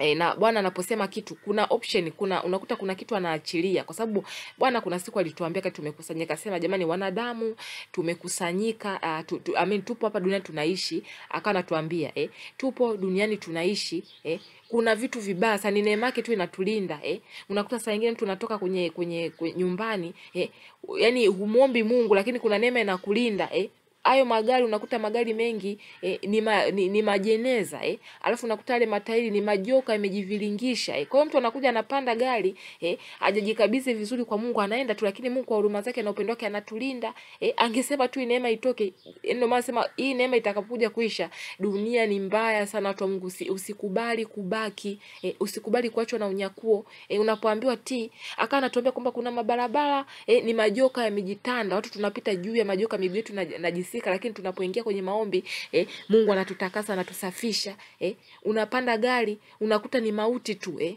Umekaa katika jeneza afu matairi ni majoka eh. na kuna michezo ambayo watoto nimeposti nime, nime kule michezo watoto wanaendesha desha yale matairi eh. Sasa kama matairi haya magari ni majoka eh. Kwa hiyo nyoka naweza kakata kwenye matairi, watoto wanate, wanaendesha matairi eh, kubwa analiendesha ni joko. nakuta natoka hapo watoto wa mikono yao imeshakamata uchawi eh, imeshakamata uovu. Sasa nawe kama ushiriki kuombea watoto wako kuwaekea mikono, basi inakuwa ni shida, ni shida kwa watoto eh. Kwa hiyo unakuta Bwana akawa anatuambia tupo bado duniani eh vitu ni vichafu, dunia ni chafu, lakini tutafanyaje sasa? Ni neema yake anatulinda, lakini vile anavyotuambia tutii, eh, anatulinda kwa neema yake, lakini kuna vitu ambavyo anatuambia tutii, tunatakiwa tutii. Eh, tumepewa ndio, tumeachiwa simu tutumie, eh, tumeachiwa, tunapanda ya mabasi, tunaenda tunarudi, eh, tuko salama, ni neema ya Mungu. Lakini anavyotuambia tuombe kabla ya kutoka, tufanye hivyo, sio kwa sababu neema ipo eti ndio tuendelee tutende dhambi au tuseme tu basi tuishi kiolela olela. Hapana, tunabidi tufanye yale mambo ambayo Mungu anatukataza, eh tuongozwe na Roho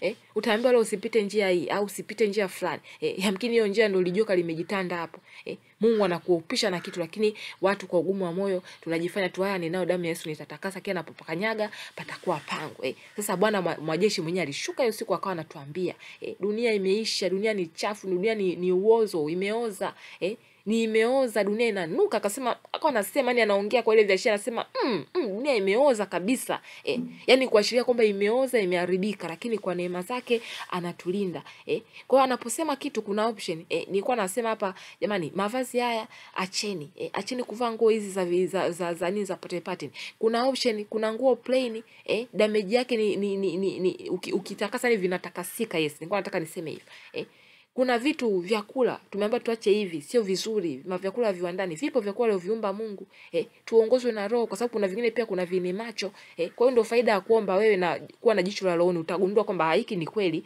hizi ni karanga, ni karanga kweli. Kwa hiyo ndio hiyo faida, Mungu anaachia option, sio kwamba kwa sababu anajua bado tupo duniani tutafanyeje. Kwa hiyo kuna vitu ambavyo eh, kwa ile mamlaka, kwa kufa kwake msalabani, kwa damu yake tutatakasa, tutakula eh, lakini sio vyote vingine vitakasiki. Atakwambia achana na kampuni hii, kampuni nyingine atakupa kibali ututu, utumie eh. Achana kutumia hivi eh, vitu vingine atakwambia utumie eh. Kwa hiyo ni neema yake inatulinda, tufuate vile anavyotuongoza.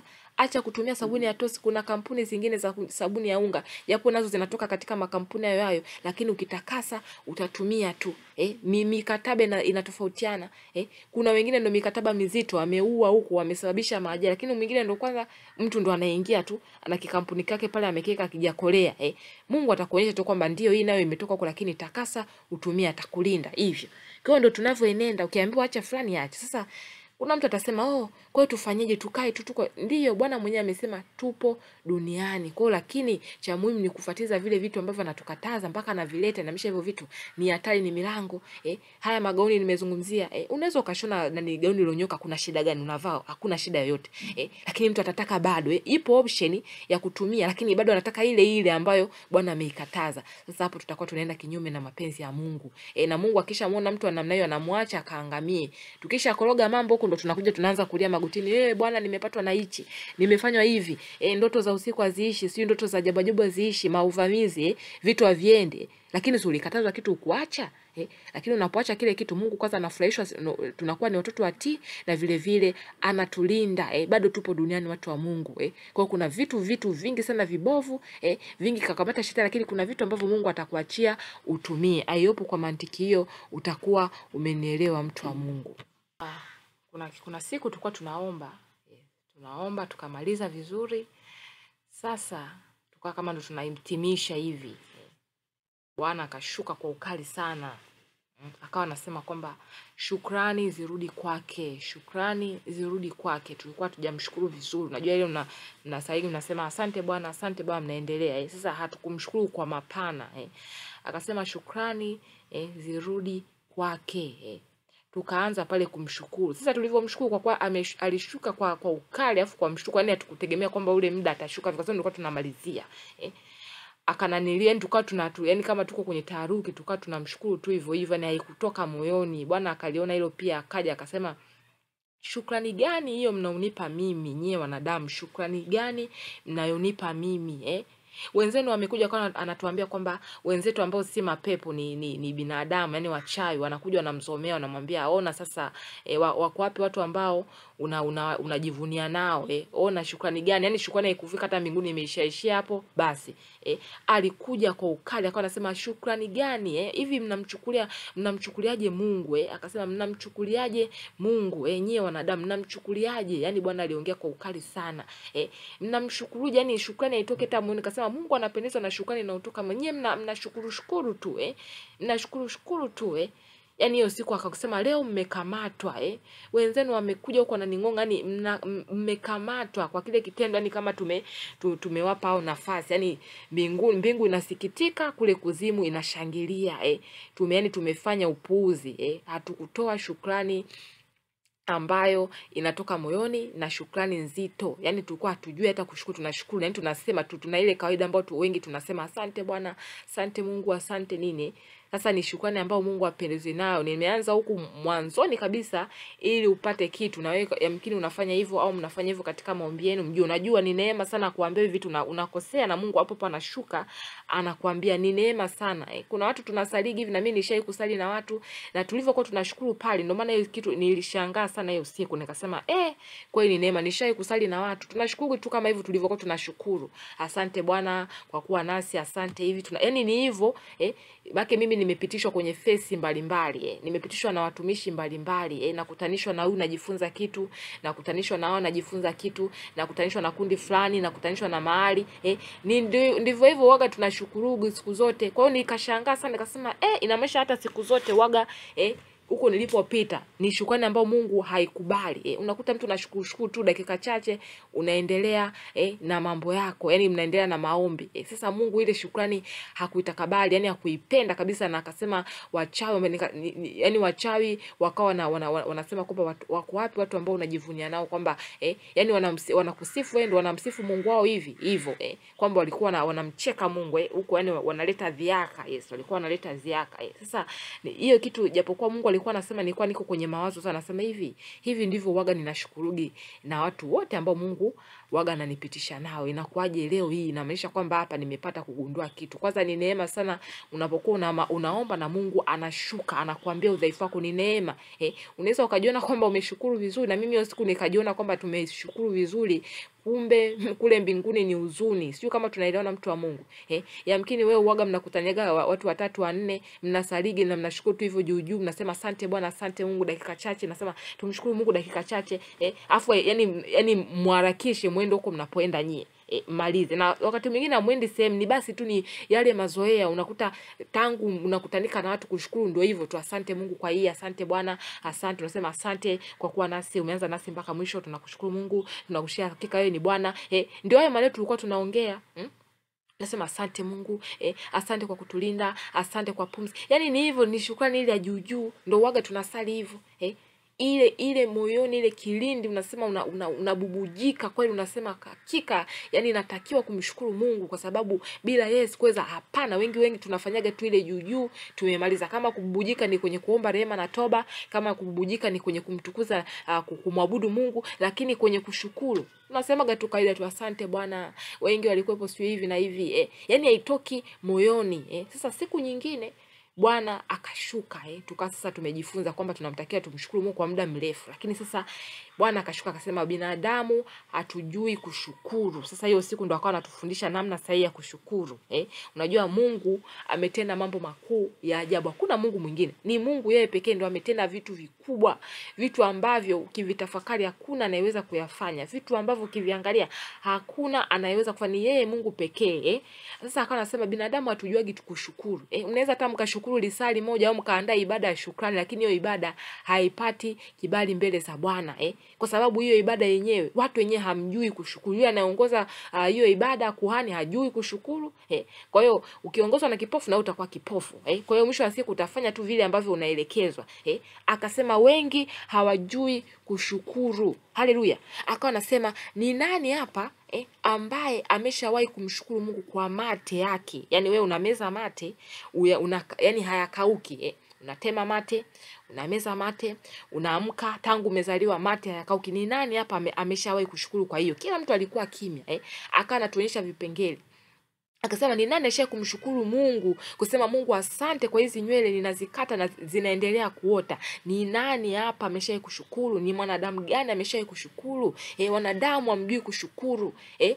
Ni nani ambaye ameshashukuru amesema Mungu asante kwa maji nimezaliwa nimeyakuta, ninayatumia hayajawahi kukauka. Ni nani hapa eh? Ni nani ambaye anasema Mungu asante kwa kusema kwa, kwa hii sauti nina ninaipaza. Kuna watu ambao eh, wa, wako huko mahospitalini ma- wanatamani kupaza sauti kusema Mungu asante, kuomba rehema na toba eh, kumwomba Mungu rehema na toba, lakini sauti zao hazipo. Wapo vitandani, sauti hamna, lakini nyie mna sauti. Mshae kumshukuru Mungu hata kwa hiyo sauti unaoitoa? Ni nani hapa mshae kushukuru kwa sauti anaoitoa? Kumshukuru tu, kupaza sauti, kwenda magotini? Ni nani kwa sauti tu eh? Nani hapa? Yani akasema kila kitu ambacho kipo mwilini mwako unatakiwa mshukuru mungu. Una ngozi nzuri mshukuru mungu. Kuna watu mangozi yao na mapunye yana maupele yana machunusi wanahangaika kila siku. Leo kwa specialist huyu kesho kwa spe... wewe hujawahi kwenda hata kwa specialist. Umekaa tu na ngozi yako eh, iko vizuri tu na unakula sio kwamba unakula yani unakula vyakula vya kawaida tu eh, na unakuta ngozi yako inanawili iko vizuri. Unapaka mafuta yako yanazi siku imeisha ngozi inang'aa. Ushai kumshukuru mungu kwa ngozi nzuri eh, kuna watu mangozi yao kama ya nyoka eh, na, napitiaga mimi kwenye kwenye mitandao nakuta tu ngozi zao kama za nyoka yani zimekaa zina magamba magamba zimekakamaa ugonjwa ule. Lakini wewe huo ugonjwa una unaamka tu unaikuta ngozi nzuri unaona ni kawaida yani unaona kama una staili eh. Unakuta maji unaenda unakinga unafua nguo zako unaoga unaona ni una staili eh. Hujawahi kumshukuru unamshukuru kwa vitu ambavyo ndio unashukuru lakini sio vile shukrani ambayo Mungu anaitaka. Anasema Mungu anapendezwa na shukrani. Unaposhukuru eh akasema ni nani ambaye ana mtoto ambaye anamfanyia vitu mtoto ambaye anajitambua unampa vitu afu ashukuru shukrani nzuri eh? Utahuzunika wewe mzazi na ndivyo hivyo Mungu wenu aliye hai anahuzunika zaidi eh? Akasema ni nani hapa ambaye ameshamshukuru Mungu kwa kucha zake? Kwamba wewe akasema kucha zipo mwilini zina kazi yake katika mwili wako. Ushawahi kumshukuru Mungu? Asante Mungu kwa kucha ulizonipa. Ninazikata lakini bado zinaendelea kuota. Ushawahi eh lakini hapana tunaona kuna watu vidole vyao kucha zimeshang'oka zimeoza. Lakini wewe kucha zako ziko nzuri unang'atang'ata tu hapo unazikata. Hujawahi kumshukuru Mungu unaona kwamba unastahili zingetakiwa ziwepo hizo kucha. Ni ni halali kwangu yani hazistahili kusema kwamba Mungu yani kulitamka neno asante kwa kucha. Hakuna mtu ambaye amewahi kushukuru kwa hicho eh? Kwa hiyo akasema unabidi ushukuru Mungu kwa kila kitu. Nakumbuka kuna kanisa amini, uh, kuna kuna kuna ilikuwa ni kama sikoseni ni mama alikuwa anashuhudia madhabahuni eh? anasema kwamba hapati makamasi. Yes, watu walicheka sana hiyo siku eh? akasema kwamba eh, yani huyu anakuja na ana Mungu yani kama anataka apate makamasi eh? Watu walicheka, lakini iko kitu ni kitu cha kumshukuru Mungu kwa sababu makamasi nayo eh, yana yana yani hizi sijui tuseme, unakuta vitu vimeganda ganda kwenye pua, zina kazi yake. Mungu ameweka pale, zina kazi yake eh. Watu walicheka, lakini zina kazi yake. Mungu anataka tumshukuru, asante kwa kupata makamasi. Sasa kama yupo ambaye hapati makamasi na anaona kuna shida eh, uone Mungu anachaga vitu kama hivyo ili anapoenda kushuhudia yule mtu kwamba mimi kwa miaka sijui kadha wa kadha sijapata makamasi, muone kwamba ah, kumbe huyu anahangaika, anahangaika kwa sababu hana makamasi. Namaanisha upo wewe unaoyapenga hapo, unayafutafuta, unaona ni uchafu, kumbe yana kazi katika mwili wako. Unatakiwa mshukuru Mungu. Mungu, asante kwa kunipa makamasi eh? Asante kwa jasho linalotoka. Kuna watu hawatoki jasho. Jasho lisipotoka nalo ni shida, kwa sababu Mungu ameachilia vile vitundu. Unapofanya mwili wako jasho litoke. Sasa lisipotoka, kuna matatizo yatakupata eh? Sasa wewe unaona kwamba unastahili, vingine tunaviona ni uchafu eh.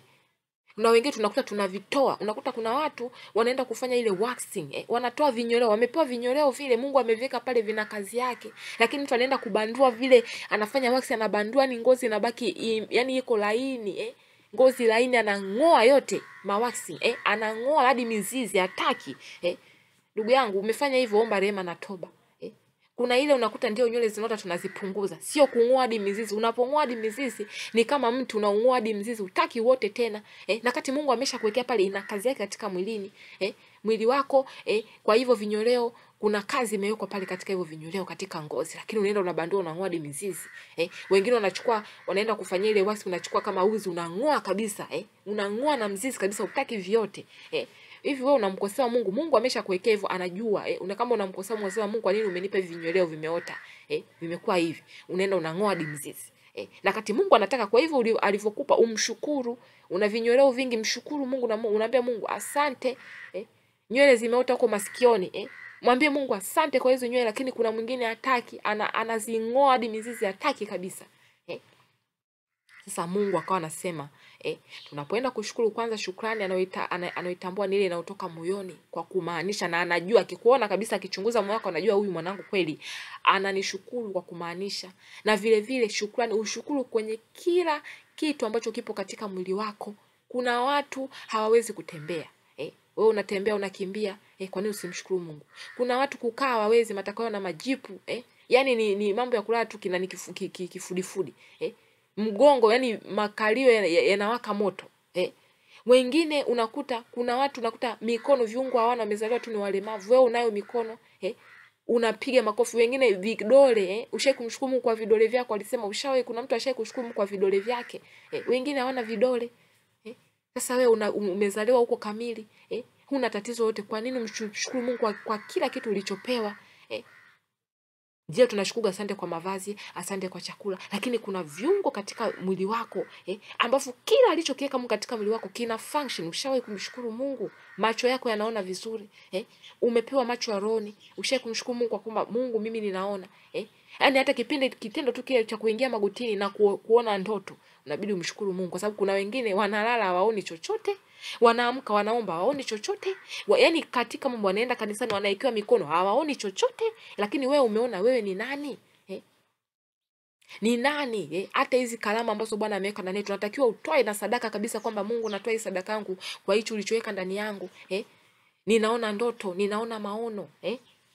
haleluya tumepewa macho tunaona ulimwengu leo vitu halisi umepewa. Wengine wamebaki tu wana- wanasubia mpaka wengine waseme wewe unayeona ni nani? Eh?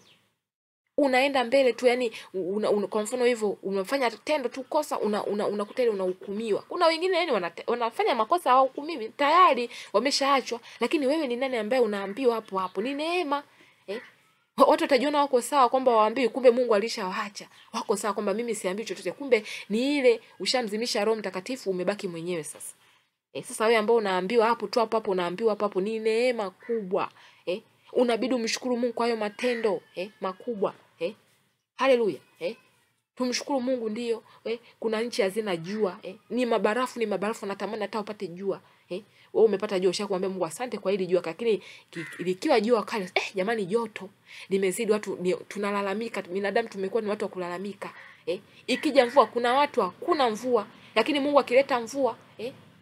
Tunaanza kusema jamani eh, mvua zimezidi zikatika yani hatuna shukrani eh, ikija jua tunalalamika joto kali. Ikija mvua tunalalamika mvua zikatike eh, barabara sio zimeharibika barabara zimefanyaje maji yanakuwa hivyo. Kidogo tu eh. kwa hiyo mungu anavyotuona tuona ni, ni, ni, ni kizazi ambacho hakina shukrani hmm? kipindi cha upepo eh, upepo umezidi sijui vumbi limekuwa kali eh, tunalalamika. Bado kumshukuru asante kwa upepo. Kuna sehemu zina joto yani upepo usikii eh, kuna watu wanakaa mananili huko maseme, yani unakuta ni jua ni jua ukame ukame. Eh, lakini wewe kuna watu hawana amani eh, katika nchi zao. Yani kulala tu hivi kabisa unalala. Kuna wengine kwanza wakiegesha tu hivi kichwa tayari eh, ni uvamizi ni unakuta watu unasikia watu wanacheka hivyo. Yani unakuta ni wameshaharibiwa unakuta ni uvamizi. Lakini wewe unalala kama mtoto unaamka. Kwa nini usimshukuru mungu? Eh? unalala unaamka unakuta vitu vyako vya vijaharibiwa eh? Unaweka nguo zako nje hazijaibiwa unaacha zinala huko nje hazijafanyiwa chochote eh? kwa nini usimshukuru mungu eh? kwa nini eh? kuna watu tunakaa quarters kwa mfano mimi nakaa hizi quarters eh? ni- hapa ni- ni- ninacholipa ni naniliu tu ni ninacholipa ni umeme eh? maji unatumia bure eh? kodi ya ulipi eh? kwa nini usimshukuru? Kuna watu wanakaa wanadaiwa kodi yani za miezi na miezi, hawajui hata watatoa wapi eh? Na wapangaji wao wenye nyumba washaambiwa, chukua vitu vyenu pelekeni nje, mtajua pa kukaa. Lakini mimi ambaye au watu sisi ambao unakuta haulipi kodi, unalipia tu umeme. E, kwa nini usimshukuru Mungu? Kuna amani, kuna utulivu. E, umekaa sehemu ambao kwanza umepokea wokovu. E, umepokea wokovu hapo hapo. Kwa mfano mimi nimepokea wokovu hapa hapa. Eh, ni sehemu yenye utulivu, unapata ndoto, maono, ma message ya kutosha nawaletea hapa. Eh, unapata maji ya bure, maji safi kabisa. Eh, unakaa kwa utulivu. Eh, hakuna mambo ya wiziwizi, sijui ujambazi, ujambazi hakuna eh. Kwa nini usimshukuru Mungu? Yaani wewe lako tu ni umeme wako ambao unatumia mwenyewe, kwa nini usimshukuru Mungu eh? lakini wanadamu tumekuwa ni watu ambao tunashukuru juu juu tu, asante Mungu, asante, asante, tumemaliza maombi salama, asante eh. Au ingii dip ukianza kumshukuru Mungu kwa dip utakuta kuna lundo la vitu ambalo unakuta unaweza ukaanza asubuhi mpaka jioni bado unamshukuru Mungu tu eh. Hata wokovu wako ni neema. Kuna watu bado ni vipofu eh, wameokoka miaka na miaka, lakini hivi vitu hawajapata kujua, siri zile za, za, za, za shetani ambazo mitego mitego hawajapata kujua. Wanajua na wako sahihi, na wanaamini waki- wakifa wanaingia na mbinguni, lakini hiyo siku ni kushangaa, hiyo siku itakayotokea siku ya unyakuo. Eh, wewe umepata kujua hizi siku za mwisho, umepata kujua au umefunuliwa, kwa nini usimshukuru Mungu, mtu wa Mungu? Eh, kwa hiyo ni hayo tu Bwana, nataka tupate tufanye shukrani na kutoka moyoni na tumshukuru Mungu kwa kila kitu kilichokuwa ndani katika miili yetu na kila vitu vinavyotuzunguka. Tumshukuru Mungu eh, unaambatanishwa na watu eh. Mimi tangu nimeanza wokovu ni Mungu tu ananipeleka watu hawa na watu ambao wamesimama vizuri, najifunza akinitoa hapa ninapelekwa sehemu nyingine, watu zaidi wenye viwango, yani nakutanishwa na watu ambao wana viwango juu yangu eh. Kwa hiyo unakuta unakuwa haudondoki, au- haudondoke nyuma, unakuwa unaongezeka unaongezeka. Ndio kuna kujikwaa, lakini kuna ile kuongezeka unaongezeka eh. Unapata maarifa, unapiga hatua eh. Hilo ni jambo la kumshukuru. Kuna watu wanakuta wakitoka kwa mtu fulani wakienda sehemu nyingine, wana wanakanyaga sehemu za hatari eh, wanakutana na watu ambao mwisho wa siku ndio inakuwa eh, wanaenda kuua wokovu wao. Watu mtushukuru kwa kila kitu. Unapiga hatua kwenye wokovu, mshukuru Mungu eh. Hau, una, una, unapata mashambulizi lakini unapata ushindi, unamshukuru Mungu eh, unapata kujua siri za ufalme wa- giza eh, unapata kujua makuu ya Mungu, unamshukuru Mungu eh.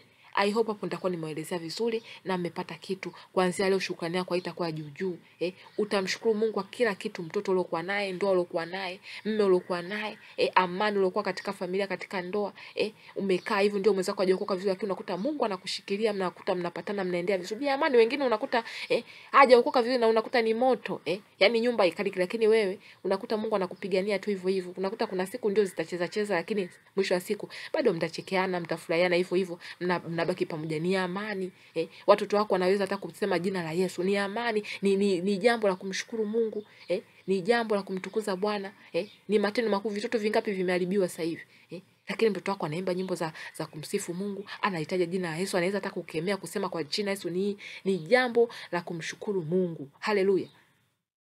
Uh, nilipokea uh, maono uh, mara ya kwanza ilikuwa ni mwenyewe. Nilipokea modo, niliona trafiki wa kiume yuko barabarani na alikuwa maeneo ya Tanzania. Amekuwa Alikuwa amevaa nguo zake uniform, amevaa ame, ame, amevaa na kigauni cha kike cha kitoto. Yes, gauni cha kike cha kitoto kinambana sleeveless, yani kile kama mikono ya singlet, kimembana kifua, kimeisha ukiunoni, kimemwaga vile vigauni vya kumwaga. Mm -hmm. Mara ya pili hiyo, eh, mara ya kwanza sikuelewa, najua tu ma, mavazi eh, ni tabia za mtu eh. Nikapata tu kuelewa juu kwamba ah, hawa matrafiki wana tabia za kitoto eh, wana, wana mambo wanafanyaga mambo ya kitoto sana. Lakini mara ya pili ah, wakati nimekusanyika na wenzangu nikapata kuona tena trafiki alikuwa wa kike, nikaonyeshwa kuanzia kiunoni kushuka chini, nikapata kutambua huyu naye ni trafiki, alikuwa ni wa kike. Mhm. Ndipo kwenda kumuuliza Bwana sasa kwa pamoja. Bwana akawa anasema kwanza tuka uh, nitasoma huo mstari ambao nimeandika hapo uh, Luka tatu sura ya tatu mstari wa kumi na nne. Neno la Bwana linasema askari nao wakamuuliza wakisema, sisi nasi tufanye nini? Akawaambia, msidhulumu mtu wala msishtaki kwa uongo, tena mtoshewe na mishahara yenu mm?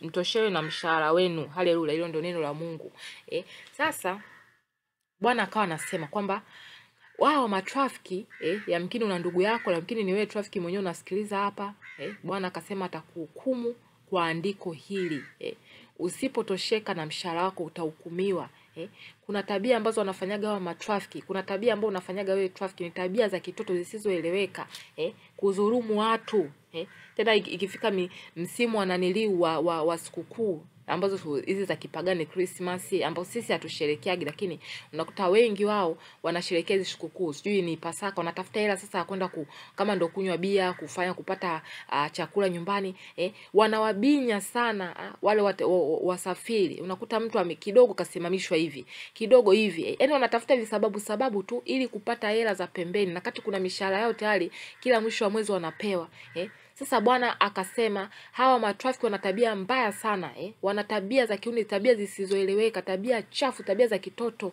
eh. Tuje tuwaambie, na mimi ndo nakuja kama mjumbe wa Bwana kuwaambia eh. Wewe trafiki, una ndugu yako, mpe huu ujumbe kwamba Bwana atamhukumu kwa hili andiko. Kwa nini akutosheka na mshahara wake eh? Kwa nini? Unajua chanzo cha shida zote eh?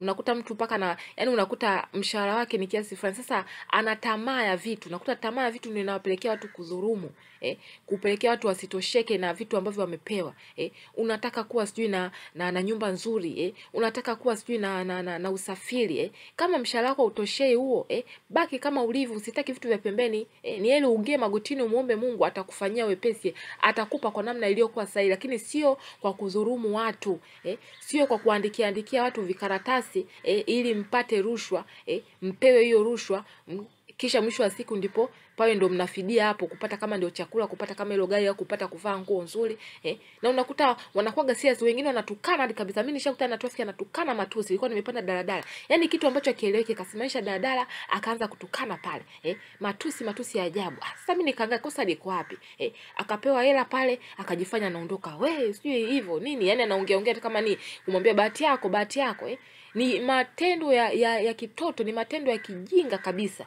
eh. Sasa Bwana amekwambia utosheke na mshahara wako eh. Unapokea laki tano sawa, tosheka nao. Unapokea laki moja na nusu tosheka nao eh. unataka kuongezwa mshahara, ingia magotini, mwombe Mungu aliyekupa hiyo kazi, lakini sio kuanza kuaminyaminya tu. Yaani mtu unatoka nyumbani unaanza na msongo wa mawazo, leo nitasimamishwa na wapi? Yaani mwingine unakuta anatafuta njia za kupita, kwa sababu akipita njia fulani anajua atakutana na traffic fulani pale, ambao ni anakuwaga na roho ya kikatili sana eh. Sasa hiyo tabia tuache, Bwana amewaona. Usipoacha hiyo hukumu itafata na ufalme wa mbinguni hakuna kuona eh. Kwa hiyo ni ujumbe kwa matrafiki. Una ndugu yako mfikishie, una mtu unamfahamu mwambie, eh, msambazie ujumbe akapate kuelewa kwamba Bwana jicho lake lipo na andiko hili litawahukumu. Haleluya. Uh, kitu kingine uh, nitaongezea ambacho ni Bwana alinionyesha ni kuhusu soksi eh. Soksi zikiwa rangi kama hiyo unakuta kama ni kijivu, kama ni white, kama ni black au rangi nyingine, yani namaanisha rangi moja haina shida. E, lakini socks inapokuwa na rangi mbili hapo tayari ni mlango eh. Ni mlango adui anatumia na ulimwengu wa roho inamaanisha uh, maana kubwa sana. Kwa mfano hizo socks unavyoziona hapo zinapata ni kama za za chui chui, kama si ni chui au ni mbwa mbwa, kuna mbwa anaiva au hiyo zebra eh, hiyo socks tayari inakuwa na maana ulimwengu wa roho. Sijui kama unanielewa eh. Zipo socks zinapatikana kabisa ambao kama ni nyeupe kama tulivyoona hivyo eh, lakini hizi socks zenye rangi mbili mbili tayari hapo zina shida eh, kama ilivyo katika mavazi eh, Bwana ametaka tuvae um, yenye rangi moja eh, inakuwa ni, ni, ni, ni huru zaidi, unakuwa free eh. Lakini inapokuwa vazi lina ma pattern pattern au inavyokuwa vazi lina rangi mbili, kwa mfano hiyo la Beyonce hapo eh, kuna vijumba jumba eh, kuna alama ya zebra hapo unavyoona hiyo eh, ulimwengu wa roho ina maana eh, ina maana eh, ina maana kubwa sana. Yamkini una, una nguo yoyote yenye hii pattern eh, una kapeti una socks, kuna zile soksi za wanafunzi eh, unakuta zina ufito mweusi huku chini. Hizo ndo nilizoonyeshwa, sio mara moja, sio mara mbili, sio mara tatu eh, mara nyingi tu eh. Nilionyeshwa hizo soksi lakini siku pata kuelewa kwa kwa uharaka eh, mpaka pale Bwana alivyoniletea mtumishi na yeye ni nabii eh, akananiliu akafanyaje aka akaonyeshwa akaja kuniuliza mimi swali kwamba Bwana amesema ni kuhusu hizo soksi, lakini ndo nikapata kujua kwamba hazitakiwi eh, kwa sababu ni watoto wangu wanavaa, ni waga nanunulia wanavaa. kwao, nikazikusanya kwenda kuzitupa, lakini licha hivyo kuna kapeti langu lipo chumbani la sampuli hiyo hapo lenye vijumba vya black and white. Tunaona hii kapeti uh, uh, tunaipata katika floor ya Freemason Hall eh, ipo pale chini yenye vijumba vya black and white eh. Yamkini na hii nyumba yake umeunganisha hivi eh, kwa kutokujua kujua, basi Roho Mtakatifu atakuongoza nini cha kufanya eh. Soksi nilizokuwa nazungumzia ni hizi hapa. Wengi tunawanunulia watoto wetu tayari zimeunganika eh, tayari zina muunganiko eh, wa mwe, ufuto mweusi na huko juu nyeupe eh hizi nimeziona sana hizi soksi. Sadi mwenzangu kuonyeshwa huo ni uthibitisho, na nilivyozitoa nikasikia ama nikazikusanya kama unavyoona zilikuwa nyingi sana, nikaenda kutupa eh. Eh, ni elfu moja moja zinauzwa, si si gari si, yani compared to roho ya mtoto wako kuanza kuangamizwa eh. Ni mlango ambao adui anatumia na ina maana ulimwengu wa roho, kama tulivyoona ile vazi la Beyonce eh. Watu waloni watakuwa wananielewa. Mm-hmm. Na kitu kingine ni kuhusu cotton buds. Niliona cotton buds zime uh, zimetumika zipo katika dustbin eh, nikatambua kwamba ni kitu ambacho akifai kama tunavyoona wanatumia pampers, wanatumia pedi zilizotumika.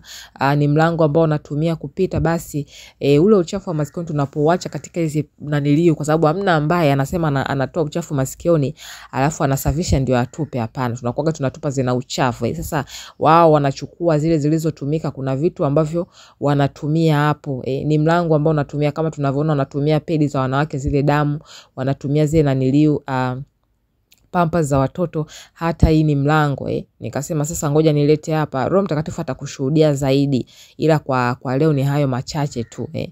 Ni machache hayo tu ambayo uh, Roho wa Mungu amenisukuma niongezee hapa. Haleluya. Uh, leo tutaishia katika hizi jumbe tano. Uh, tutaendelea eh. Kuna watu wamesuggest kwamba video zinakuwa kubwa sana ndefu sana eh, kwa hiyo nikasema basi ngoja tu tunatengeneza hata kwa kwa ukubwa wa risali moja ili hivyo watu wote wapate kufanyia kazi yale ambayo yanazungumziwa hivyo kuliko kuweka masaa mengi na kumtu kumchosha. Kwa hiyo nimefanyia kazi na nimeomba kibali kwa Bwana, naona limepata kibali. Mungu awabariki sana.